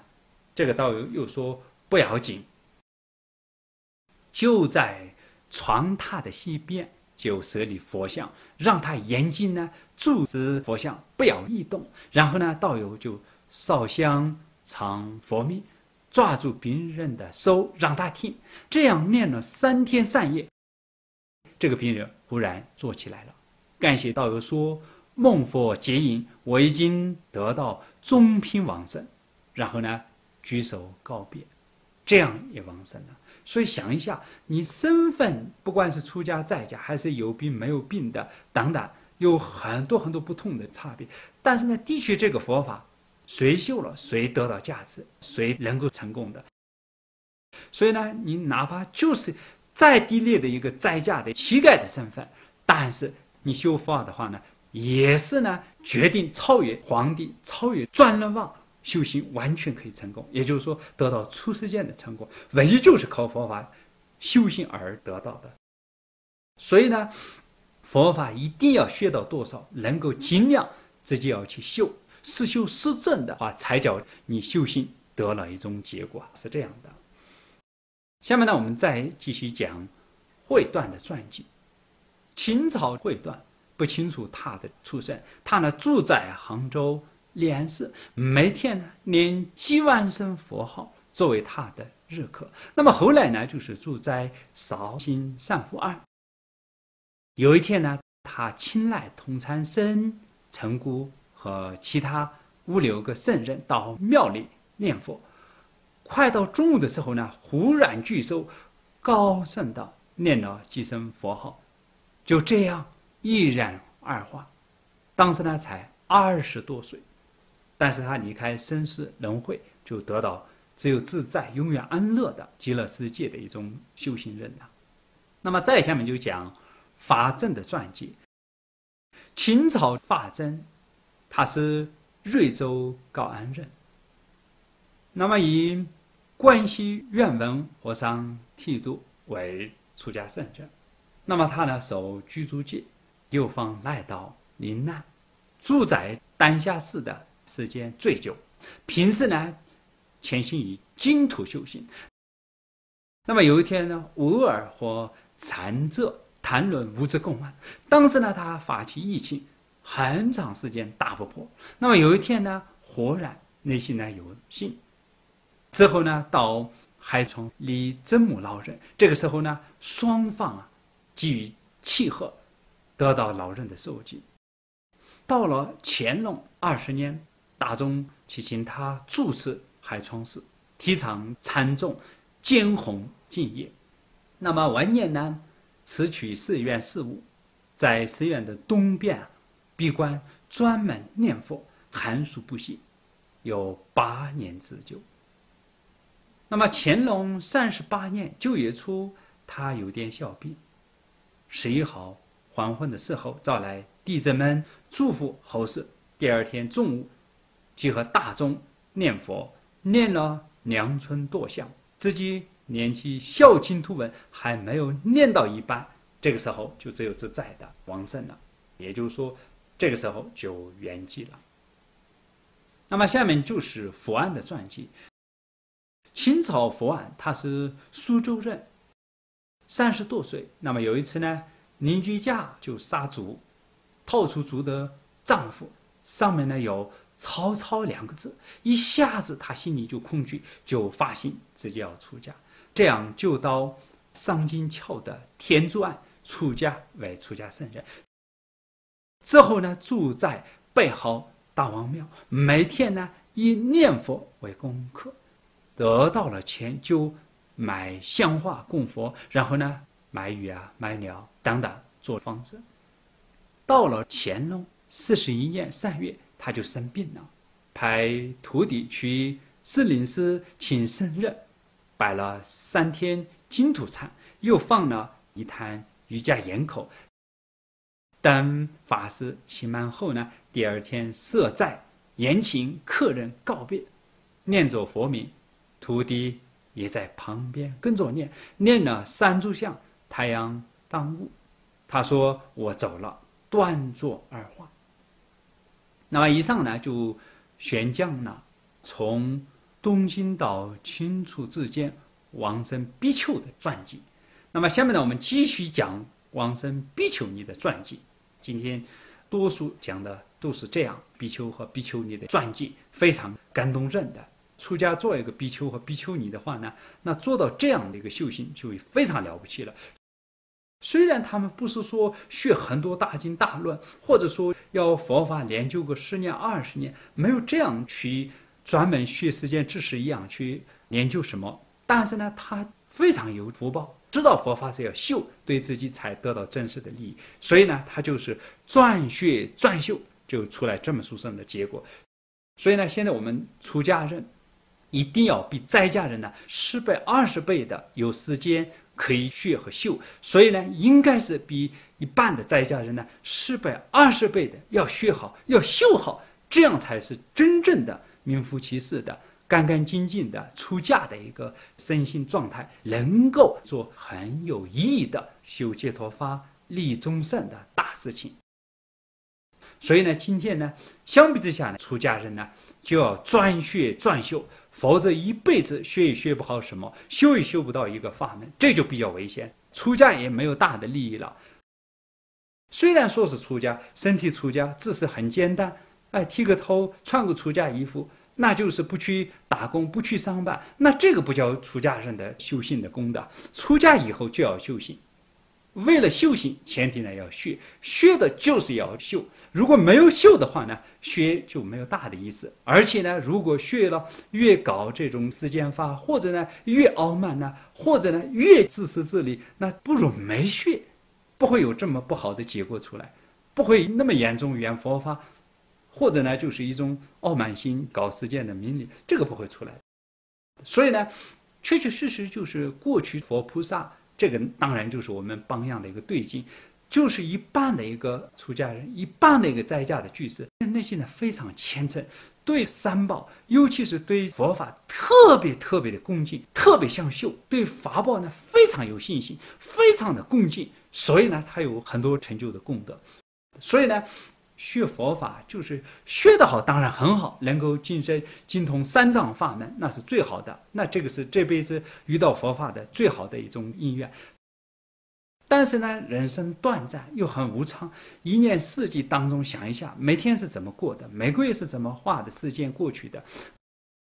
那一算的时候呢，每天吃饭、走路啊，或者是做饭，或者呢睡觉，或者呢干别的很多事。那么生下来的时间当中没有去修行的话呢，确实就不知不觉十年、二十年过去了。现在不算很老的人，到时候已经老，有可能已经离开人间了。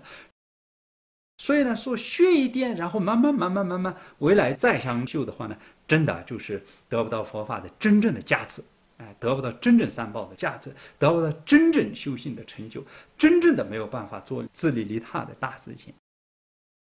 所以呢，在这些方面呢，尤其出家人有时间有福报，既然有出家的因缘的话呢，在这方面呢，再不能糊涂，再不能拖延，再不能懒惰，再不能不负责任，应该呢需要负责任。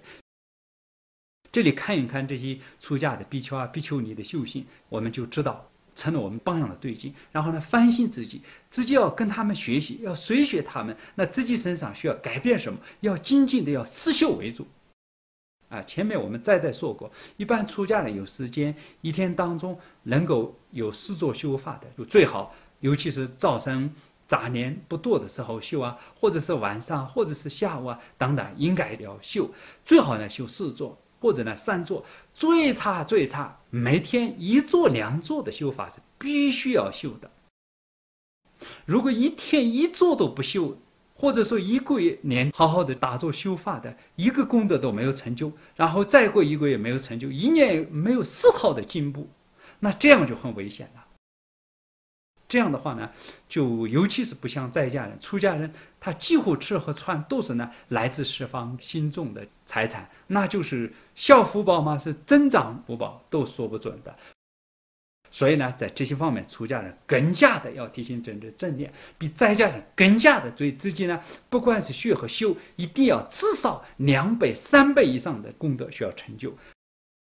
因为你是已经出了家，出家的有时间，有这样的因缘，可以闻思修心，得到修行成就的功德。所以，下面我们看看这些出家比丘尼是怎么来修的。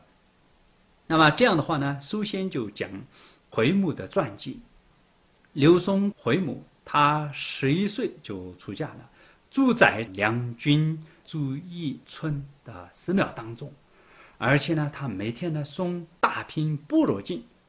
有很多很多的灵异，也就是说有很多很多一般人没有的修行的这种感应。那么曾经做梦到了西方极乐世界，见到一口浴池，里面呢有好多好多的莲花，各种花圣的人都坐在莲花上面。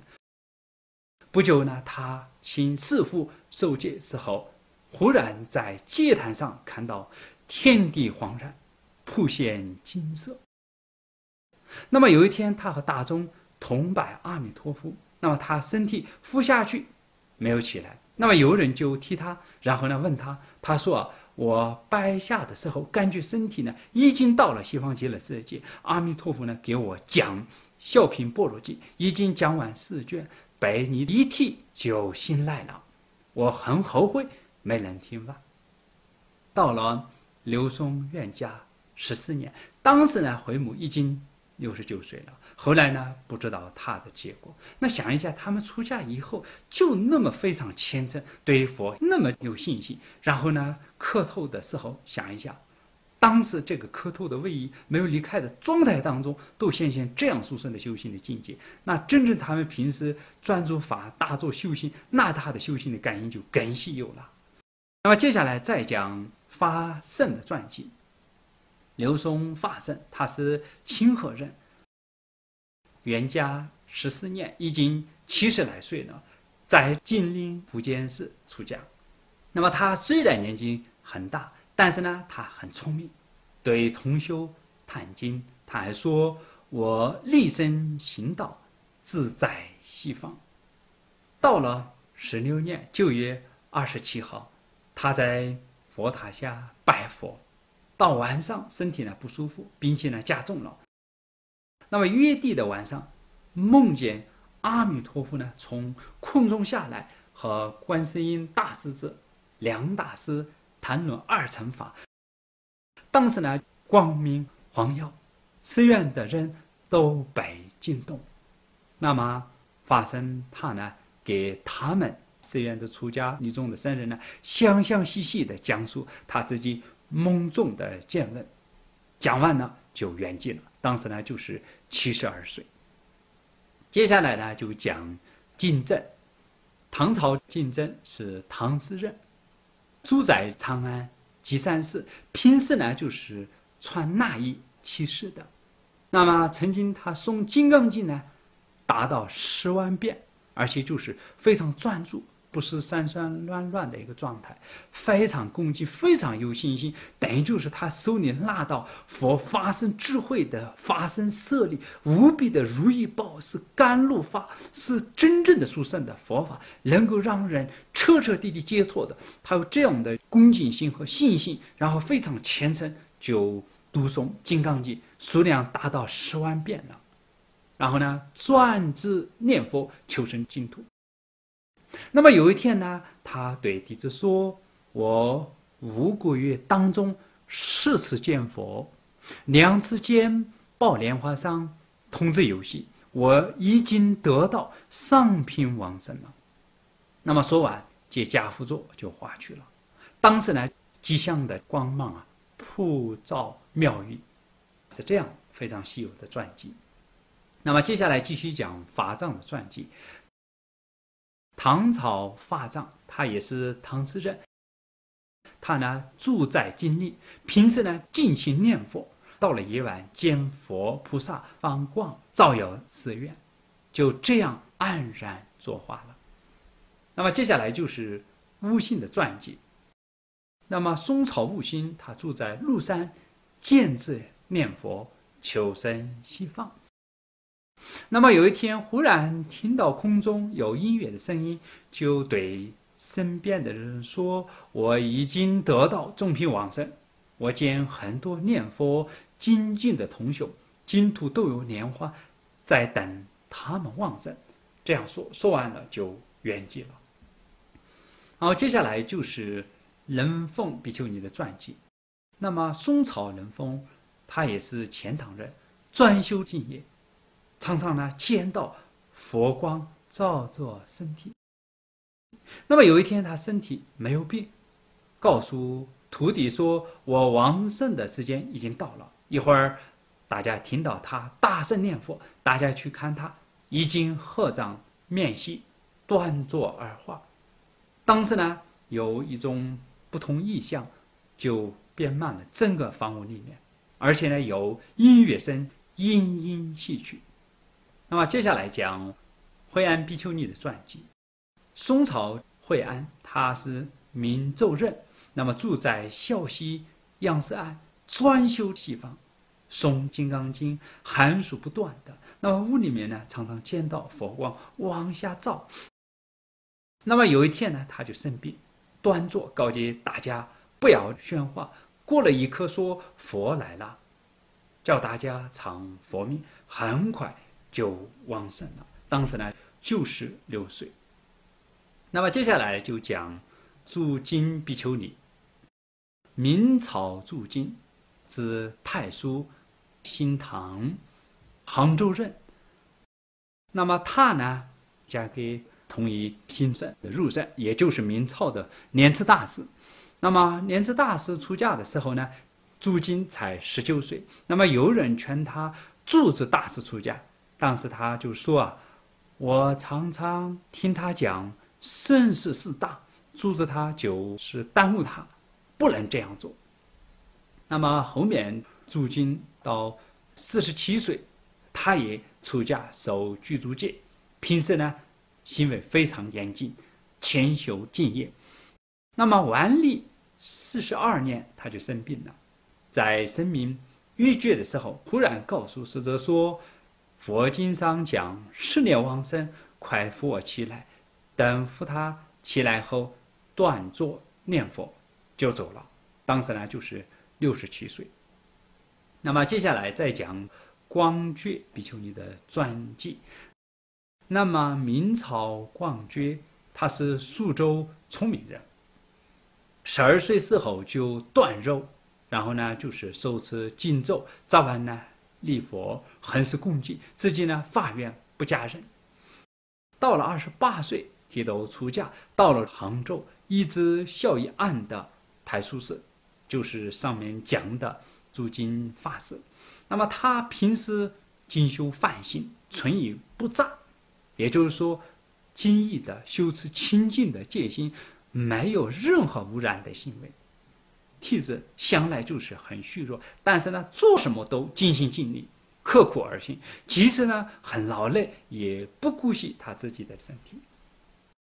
不久，他得病了，邪绝医药，一心等其断了亡神。那时候呢，已经气息奄奄，忽然坐起，朝向西方，即家父座安住，也就寺庙的主人给他呢舍礼弥陀的圣像。他就两眼注视圣像，合掌跪名阿弥陀佛。那么不久漱口洗手，穿上干净的衣服，然后手里呢持念珠，端正对佛入入禅定一般。侍者怕他身体倒下，用两个枕头扶住。他挥挥手说：“不用这个，大家围绕念佛。”他呢又挥挥手说：“我自己做的那主，不烦恼大家。”大家就是看着他，这个时候他的修行境界很自在，心确实就是专注修行的状态，所以呢，他自己完全做得了主。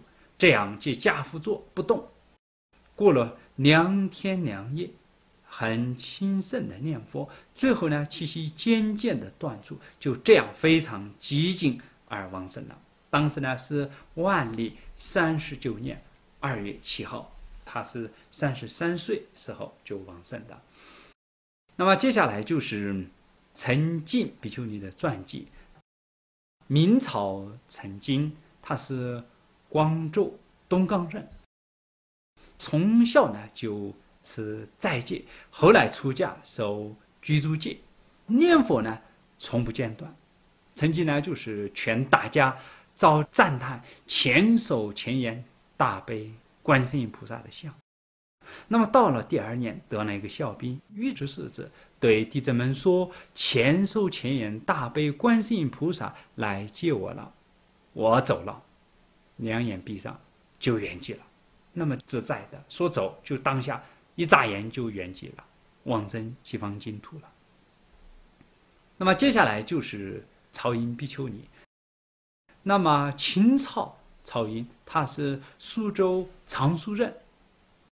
那么首先呢，就是嫁给公家。那么丈夫死后呢，挂居受戒，和儿子段武一起发心出家。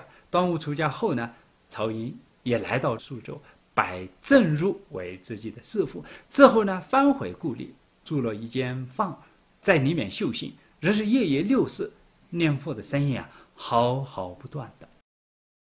那么有一天，他有一点小病，沐浴后呢，披好衣服，坐在中堂。快到黄昏的时候，他就说：“我还是要走，就是晚上的九点到十一点这个时辰要走的意思。”然后呢，把手收入袖子里面，端坐而还。当时呢是七十三岁，这是秦朝顺治。年间的一个政治时期。那么这张悬将呢，从刘松到清楚之间啊，王生比丘尼的传记。那么今天我们总共讲了二十四位王生的传记，其中有十二位比丘，十二位比丘尼。那么他们就成了今天净土的成就者，也是我们学修的榜样。就是我们也跟他们一样。今生呢，高度重视修法，修的三法一定又是一种专修的，落实到自己身心上，真真正正的，就像我们吃饭一样啊，就是修三法，也是每天不间断的修行。然后呢，把这种的功德通通倒归极乐，发愿回向，为了自己和跟自己结缘的众生，甚至自己往生后很快圆满普贤心愿，能够普度。六道的无量无边的众生，对他们有这种榜样的一种看法，在这个基础上，自己要从此以后呢修清净的佛法，而且呢道归极乐，有这样的一种归宿，有这样的目标的前提下呢，我们下面大家发言回想。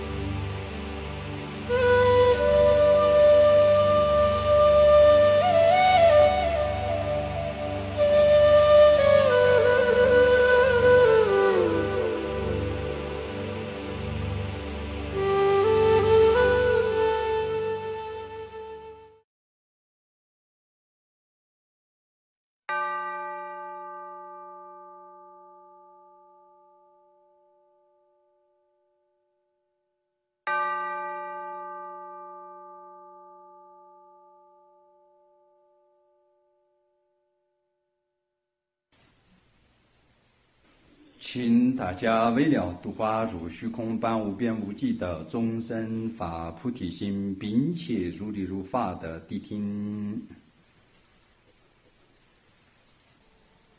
现在我们继续学习净土神炫的专辑。那么上面呢已经讲了比丘和比丘尼往生的专辑，下面呢就是继续讲往生往乘的专辑。那么首先就讲刘承志的传记。金朝刘承志啊，他是彭城人。小时候呢，他的父亲呢就去世了啊。那么后面呢，他就是奉他自己母亲，而且呢就是很孝顺。呃，那么他本人呢就是擅长老庄的学说，不和石榴同流合污。那么最初呢，担任政府的参军。王公大臣先后呢引荐他做官，但是呢他都坚决辞谢。当时呢就是慧远大师他老人家住在东林寺修念佛三昧，那么刘承志前往议制，员工说高官厚禄怎么不做呢？那么刘承志说：“尽是无盘石之骨，吾亲有内乱。”自谓吾何为在？那么这个意思呢，就是说，金朝的江山呢，并非像磐石一样那么坚固，尤其呢，却有内乱的危机。我做司谏的官干什么呢？那么他说的这个内乱呢，意思就是说，单一颗颗堆在一起，那么稍微一碰呢，就会倒塌，一击破碎。比喻呢，生命呢是非常脆弱。一遇到寺院，那就会彻底坏灭。所以呢，就是人生呢，要及时修处理生事的出世间的佛法。当时呢，就是南朝刘宋的皇帝刘裕认为他呢很有志气，就赐给他一名的称号来表彰他。因此呢，后人呢称他为刘一命。当时呢，就是有。清心寺、中缺、雷池宗，还有呢周徐子，还有张掖、张全、毕英子等等，都来到麓山，并且呢，大家共同在西方三圣圣像面前呢兼在立誓，同修敬业。刘一民写文科士，作为大众共同的誓愿。刘一民来到呢，心里三件的被变，另外就建了一个做禅的方式，他自己呢在里面呢精研佛理，同时呢就是受持境界，而且呢他写有念佛三昧诗。那么住山百年的时候啊。就在丁仲呢，已经见到阿弥陀佛的光明照地，普显金色。那么又过了十五年，他呢正在念佛的时候啊，就见到阿弥陀佛白毫光呢照出他的身体，而且呢就是阿弥陀佛呢催收接引来做安慰。这个时候呢，刘一明说：“如来能为我莫定吗？”能以衣服覆盖我身体吗？啊，那么立即阿弥陀佛呢，就为他抹钉，又因袈裟披在他的身体上面。那么又有一日，他做梦，梦见他呢入了西方七宝池，而且呢是当中呢有青白灯各种各色的莲花，是水沾染的。那么有一个人。在金香上有圆光，胸部呢先出了万字。制作池水说：“这是大功德水，你可以喝。”当时呢，刘一鸣喝了池水，感觉呢非常的甘美。那么醒来呢，他身体啊毛孔当中呢散发出不同的一种香味，就对人说：“我净土的因缘到了。”然后呢，就是请出家圣人。诵《法华经》，达到数百遍。刘一鸣对着佛像烧香再拜，那么同时呢，他就祈愿说：“我以释迦如来一教，才知道有阿弥陀佛。此香应首先供养释迦如来，然后供养阿弥陀佛，再供养妙法莲华经。”所以呢，人生净土都因此境的功德，源于一切的有情呢，同生西方净土啊。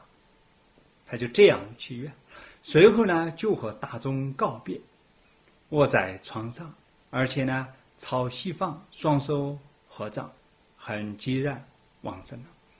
当时呢是东京义熙六年，他呢就是五十九岁。那么接下来我们就讲徐小客的传记。隋朝徐小客天心至孝，每次赴宴的时候呢，自己不吃东西，而是呢把食物带回家奉养自己的母亲。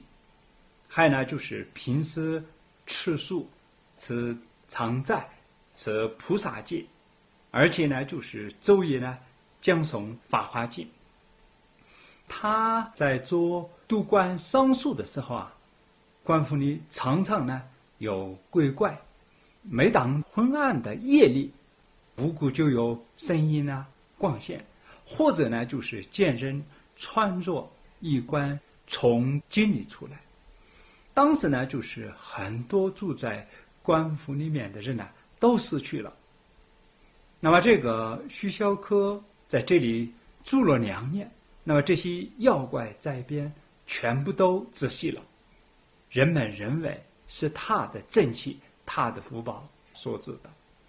那么开荒十年，长安呢发生瘟疫，隋文帝呢诏令他宣讲《金刚经》。那么到了十九年去世，在临终呢断坐念佛，而且呢房子里面呢有不同寻常的异象。包括邻居都感到很惊异。那么接下来继续讲玉昌的传记。唐朝玉昌不清楚他的出身。那么在武则天时代担任滨州路使，白天呢判决官府牢狱之事，夜晚呢就是判决应付案件。那么每每能预知灾祸。安众呢就做好准备，这样呢经历了六年。那么后来呢，因为他母亲去世，以持诵《金刚经》为日课，以后呢就不再到冥府做官了。到了八十四岁临终的时候呢，忽然闻到不同的气象，赶紧呢对左右的人说：“西方僧人来接我了。”然后呢就是朝西方连连念佛而往生了。那么下面呢继续讲马思运的传记。唐朝马思运不清楚他的出身，那么据教练。担任金县的县尉，那么有一次呢，他以本郡的天夫税捐都匀入京城，那么当时呢串了饭了，一万户民呢沉入江中。那么因为这件事，他是官司坐牢了。那么在牢狱里面呢，他就专心的念佛。过了五年，他遇到特色而出狱了。那么他隐居在南宁山的寺院当中，坚持呢日中一事。到了填报十年，在金县去世了。之前呢对别人说：“我因为命运坎坷而进城受持佛教，现在我西方今也成熟，要往生西方极乐世界了。”第二天他就沐浴。换好新的衣服，端坐合掌。一会儿，不同的意象遍满了整个房屋。这个时候，他就说：“佛来了。”就这样往生净土。那么下面呢，再讲魏文静的传记。唐朝魏文静不清楚他的出身。那么在唐代做官，做到观察室的位置。那么曾经呢，建立西方的道场，坚定志向，修持敬业，求生西方。那么一天呢，正是佛的名号的时候，借着家父座就往生了，而且呢，当时呢，意象呢，编满了整个房屋里面。那么接下来呢，继续讲张抗的传记。那么《诗经》张抗，不清楚他的出身，在。诗经的时代，他做了翰林学士，曾经呢诵大悲咒十万遍，求生西方。那么有一天呢，他卧病在床，一心呢持念佛名，忽然呢对家人说：“西方净土就在我们屋子西边，阿弥陀佛坐在莲花上。”翁儿在莲花寺的金沙地上立拜游行，过了很久，念佛的声音才自息而亡盛了。翁儿就是张抗的孙子，之前已经亡盛了。那么接下来呢，又讲文彦博的传记。那么宋朝文彦博，他呢是汾州接修人，他在。任中、殷仲、慎中、泽中，是朝历任高官，那么出入江乡五十多年，而且呢官呢做到太师之位，那么曾经呢兼任易经润文师，封为陆国公。他呢平时非常贵心佛法，晚年呢想到更加的努力，专心的持念阿弥陀佛，从早到晚。心住坐卧，没有丝毫的懈怠。那么他发愿这样说：“愿我常精进，勤修一切善；愿我了心中，光度诸寒士。”那么他住在京城的时候呢，他和金眼法师集合十万人结金土会。当时呢，就是士大夫参与的很多。九十二岁的时候呢。就去世了。那么下面呢，再讲杨介的传记。宋朝杨介，无为人，自称为无为志。那么元丰年间，官职为太仓，哎，这个太仓就是掌管吏院啊、教庙啊，还有呢设计知识的官员。最初呢，就是喜好禅宗，随天意禅师血禅禅就旁居士玉露。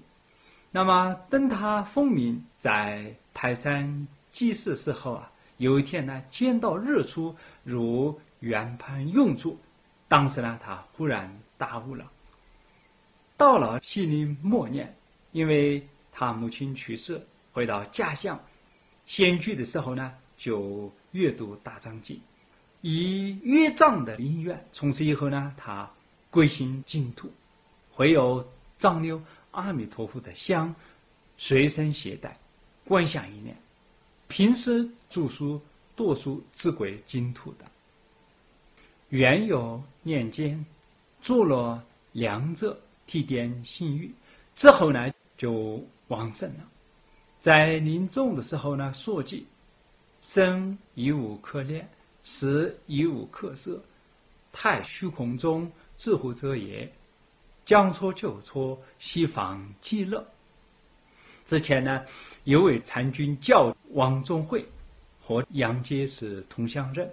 那么曾经呢，在杨阶处啊，领受念佛法门。他请问说：“如何能不间断？”当时杨杰回答说：“一心自后，再不生意，就是不间断。”钟辉听了后呢，欢喜雀跃。那么第二年，杨杰惯例淡养。那么一天夜晚，就梦见钟辉说：“以往梦里引导我修持净土，现在我得以往生。”特来自省，那么说完再拜而出。那么不久呢，接到他儿子寄来的复书，说钟辉玉之四子和亲人全部告别后，安然的往生了。那么杨介去世后，金王夫人做梦身游西方，那么在西方净土见到一人坐在莲花上面，衣服飘扬的。报官绫罗庄严气身，问是谁？说是杨介。那么下面呢，我们再继续讲王固的传记。宋朝王固他是东都人，啊，是宰相王旦的正顺。到他为止，祖上呢连续七代持不杀戒，王固呢就更发心放生一百万。那么他到江西，随会堂杨七啊助禅的禅就宗门宗师。后来呢，就是专写自制金兔这一句，弘扬西方金兔的教法。那么他在仙居的时候呢，念住啊从不离手，心诸作恶，常修净土惯性，无有间断的。到了徽宗时期，他做了。户部侍郎，当时呢，因同党之祸，被学子为命，不久呢就亡生了。后来呢，有出家圣人神有西方，见到王姑和葛范都在西方净土，其中葛范是陈江人，官做到朝山大夫，不能在功夫啊，还是是在，他呢一定营造一间清净的房屋。舍利佛像。那么有一天呢，他正礼拜念诵的时候啊，舍利从空中降下。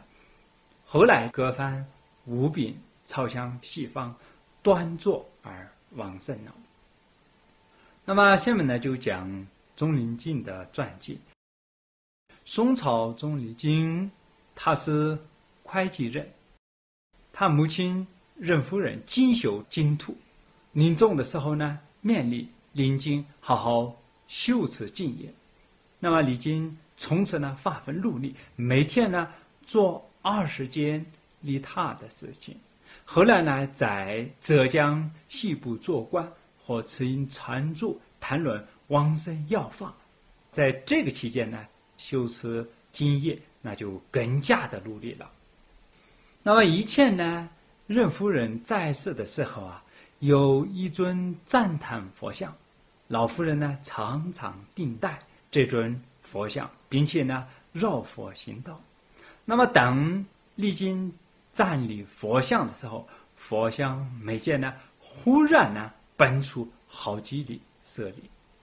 那么不久，历经坐呢开封致富，当时呢正当半夜，忽然他就坐起来，对家里人说：“夫人告诉我，王胜的时间到了。”之后呢，就借家父座而作画。前一天，全家都梦到李靖坐在青莲花上面，并且呢，天中未绕，从空中往西方而去了。那么他二子进入，做了朝清大夫，日常诵观经，修念佛三昧。那么后来辞官，在一真东院的旁边建了一个茅屋，曾经说。是得弥陀，弥陀弥陀，不识弥陀奈何奈何，不识弥陀，弥陀根在西方外。是得弥陀，弥陀自在自己家。那么一天夜晚，他请圣人妙音诵普贤行愿品，烧香，听完经后，两手接引而作画了。曾孙众诵。住在苏州和包机寺的施工等接着念佛，也是呢没有任何病，忽然断坐，朝西方双手合掌而作画的。那么下面呢，我们就再讲马玉的传记。宋朝马玉，他是潞州合肥人。那么他父亲马公亮在杭州。做官的时候，只因禅住传授给他净土的法门。从此以后呢，他们全家都念佛了。到了元丰年间，马玉遇到出家僧人光初，那么得到了天台十一论，很欢喜的说：“现在终于得到归宿了。”就依照陈禅祖这里的十念法。修了二十多年，后来呢，又和王姑有来往，更精进的念佛，常常呢以方生为佛事。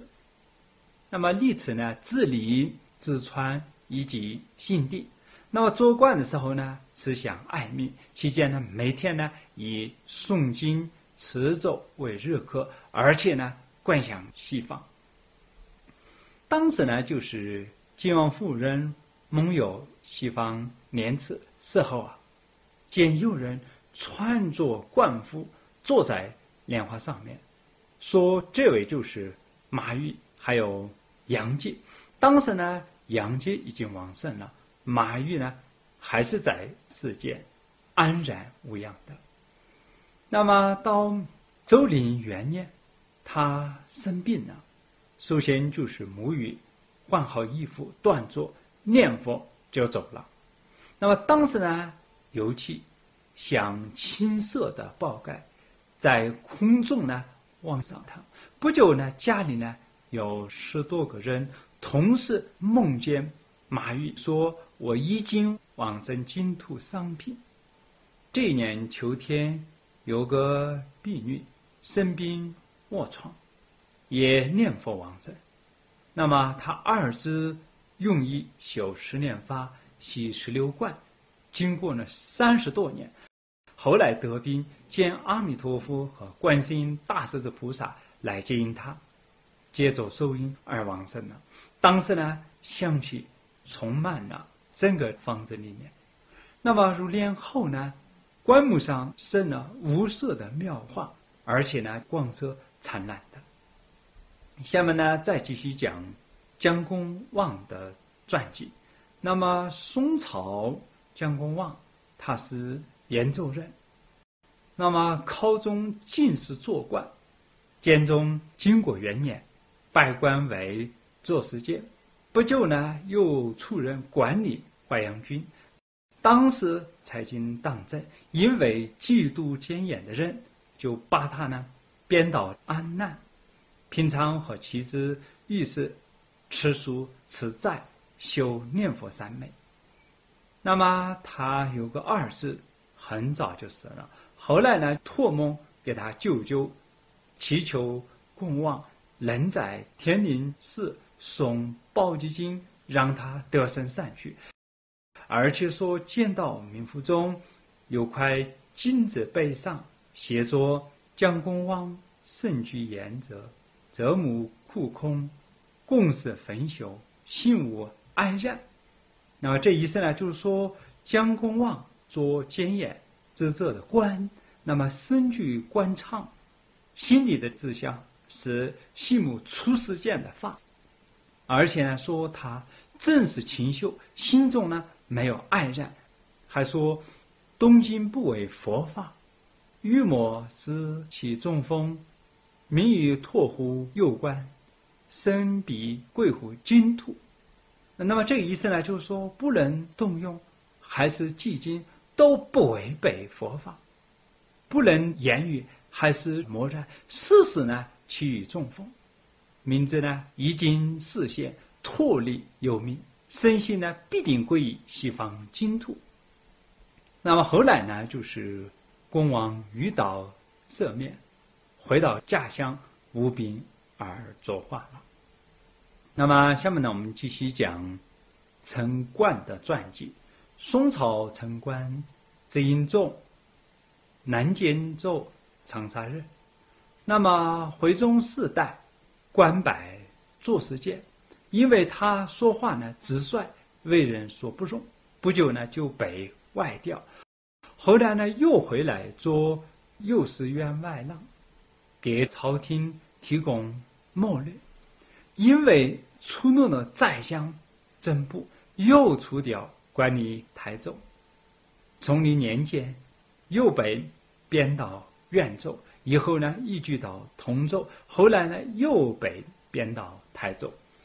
他呢，最初喜好华严经，自号为华严居士。那么等遇到明智法师的时候，口闻天台众子，明智法师呢为他自设三根智观，不可思议之境界。那么一心多修，成无作性。当时呢，他深有其入的。自从来到台州后，就舍弃。不再写文章，专修念佛三昧，住在台州呢有五年。那么后来呢，又官复陈四郎，准备迁居到处州居住。经过庐山的时候呢，就在这里定居了。他呢曾经对亲近的人说：“往年我遭患难时，说怕唯有一事，现在我。”四生都置之度外了，那不久就往生了。当时呢，就是六十五岁。那么，下面我们继续讲王仲的传记。宋朝王仲，他是嘉禾人，住在钱塘古山。到了政和年间，有人呢推荐隐居重的他出来做官，他呢没有答应。回来呢，就是做了朝山大夫。那么曾经禅方孝本禅师，当时呢就是没有去入。有一次呢，乌尔他听到僧人诵《弥陀经》，当时他心里呢有感触，就专心于敬业，而且呢就是每天诵《阿弥陀经》七遍，念佛一万声，前后十九年从未中断。他以自己的住宅作为脸色，不能出家在家的神书。贵贱都能参与。那么有一天，他没有任何兵，沐浴之后，朝西方借家父座划去了。那么接下来我们就讲张帝的传记。宋朝张帝，他是钱塘人，坐落主教的冠。他呢随元经律师，守菩萨戒，专修净业。那么在佛前燃笔香发誓。每次称佛的名号的时候啊，声音都是振奋的，直到声音念哑了还不停止。那么曾经在金色当中见到白色驾临皮切鸟，在他生前废物，又有律法童子合掌向他问讯。过后呢，三年朝着西方念佛而往生了。那么下面就讲。呼应的传记。宋朝呼应之大夫是钱塘人，做了玄一郎的官。晚年做官的时候呢，和清照律师有来往。有一天他生了病，儿子请清照律师来看他。当时律师说：“大夫平生跟回纥相好，其人不知道幕后大事。”那么回纥就是清照律师的一个名字，幕后大事就是人生归宿的大事。那么这个时候，他问：“你是说信经则吐经吗？”清照说：“一切事中没有杂念染污吗？”他说：“做不到。”秦早说：“这样怎么能信经途径呢？”他回答说：“经上讲。”一称阿弥陀佛，能灭八十一劫生死重罪，这是怎么回事呢？秦早回答说：“阿弥陀佛有大誓愿，有大威德，光明胜利，不可思议。具体如经中所说，所以呢，一称佛名，自然消灭罪垢，就像太阳悬在中天，光明朗照的时候呢，地上哪有霜雪呢？”那么这个意思呢，就是说，已经何日照耀，霜雪自然化去，一成万德佛名，罪垢自然消除。他听到这番开示，相续呢升起大干物，一心呢成念佛命，请僧人助念。经过一个月，最后呢，请找律师又来看他。这个时候他就说：“来的怎么怎么晚呢？”已经烦恼观音是指二菩萨讲你很久了，当时呢，秦昭就和身中同场佛命，就这样安然圆寂了。那么下面呢，再讲风纪的传记。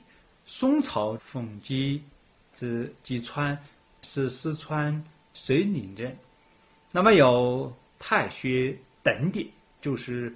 被录取为进士，呃，这样的意思。那么最初呢，就是参佛眼禅师有幸，之后呢又参大会禅师。这一年入山阶下的时候呢，他深深有悟入。以后呢，就是兼修敬业，而且呢，作有弥陀忏意。绍兴年间，他在路难领兵，率圣属大众做新年法会。以西方为归宿。当时呢，就是经过建炎兵乱后，古明差的藏经多有毁坏，他呢捐出奉献，造大藏经四十八部，小藏啊，也就是四大部，也是四十八部，分别呢储藏在各大明刹。后来他管理琼州，二十三年秋天祈求退休。事先告诉亲友，准备在十月三号去世。到了这一天，他叫人在后厅四舍告座，还像往常一样接见客人。快到中午的时候呢，他就穿好衣冠，望着京城礼拜。随后呢，就是请曹氏带领琼州事务。曹氏就是。管理税路运输的官员，那么接着穿上圣衣，坐在高座上面，祝福官吏倒数一心向道，建立法床，然后呢，替柱章安在膝盖上，既然圆寂了。那么曹氏说：“安抚取来如此自由，何不留一句表明其意的修行呢？”那么这个时候呢，凤姬又睁开眼睛，蜡笔写下一句：“初三时已，终究下气，老人眼睛规格颜色。”有玉露和松果啊流行于世间。然后接下来呢，就讲吴宾信的传记。那么宋朝吴宾信是闽州人，绍兴年间在朝廷做官。因为和清会比肩相坐而被贬为党任。那么后来呢，他回家在城南建了一所房子，早晚都在里面打坐。视线呢是备一口棺材，夜晚呢就睡在棺材里面。到五更天亮的时候呢，叫童子敲着棺材唱歌：“五行手归去来，三界无安不可住，西方净土有莲台，归去来。”那么这样唱的歌的意义呢，就是悟心手快要回家了，三界六道犹如火灾啊，没有一个地方安稳的。西方净土呢有莲台，快回家。那么就是这首歌，每天早晨唱给他听，他呢清早听到这首歌就起来禅坐念诵。过了很久。秦桧死了，那么朝廷呢又以吏部侍郎把他召回。不久呢，又出任常州知府。绍兴二十六年，又被朝廷召回。当他路过孝山，住在一站的绿色当中的时候，当时呢，他断坐一会儿，让家人安静倾听，都听到天乐之音。当时他就说：“清净戒中，四年至此，金台既之，无党又信。”意思呢，就是说，在清净法界里面，因为啊，凡夫呢失去了正念，而来到了娑婆世界。那么现在呢，金台已经到了，我要走了。说完，就往生了。那下面再讲李病的传记。宋朝李冰不清楚他的出身。到了绍兴末年，是宫廷中的官员，经历善朝，爵为是武功大夫。当时呢，管理皇宫的御窑院，其公子已辞去官职。那么立兵庄严的时候，心目禅重，禅经此，值得禅师内心有幸。不久呢，归心净土，而且呢，可龙述净土文，劝导世间的人们。他持诵共经，而且，非常坚定，有三十年的修行。儿子愿昌协同好友在传法寺结金业会，他也参与法会了。那么到了嘉泰十年秋天，他生病了。当时呢，就是饭量减少，谢绝医药，声色却更加的接近。到了冬天，梦中忽然见到阿弥陀佛的现象。过后七天的凌晨，就见到金色莲花充满房屋里。这个时候，他叫两个儿子扶他起来，跟亲友告别，要来比邪道。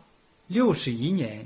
今乱刀，希而见出却也好，而今末子往西方，万劫长宁，甚是老。那么必一放，就借着收音而圆寂了，很自在的往生了。那么下面再讲一个传记，就讲陆渊。宋朝陆渊，他是开基三一人。冠南升岛台副使臣，不久外调，担任福建四部，哎，也就是福建地区管理海港船舶和关税的官员。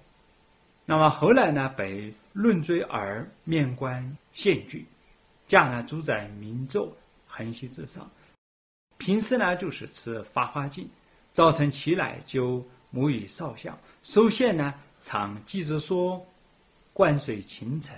被叶开，不求祝福，不让灾，寺院断处从他断，结合广中无一会。之后呢，开卷读诵经典，不缓不急，声音呢犹如灌注，每天读一部，这样呢，经历有三十年，到了八十岁的时候啊，增加到日诵三部，又念阿弥陀佛。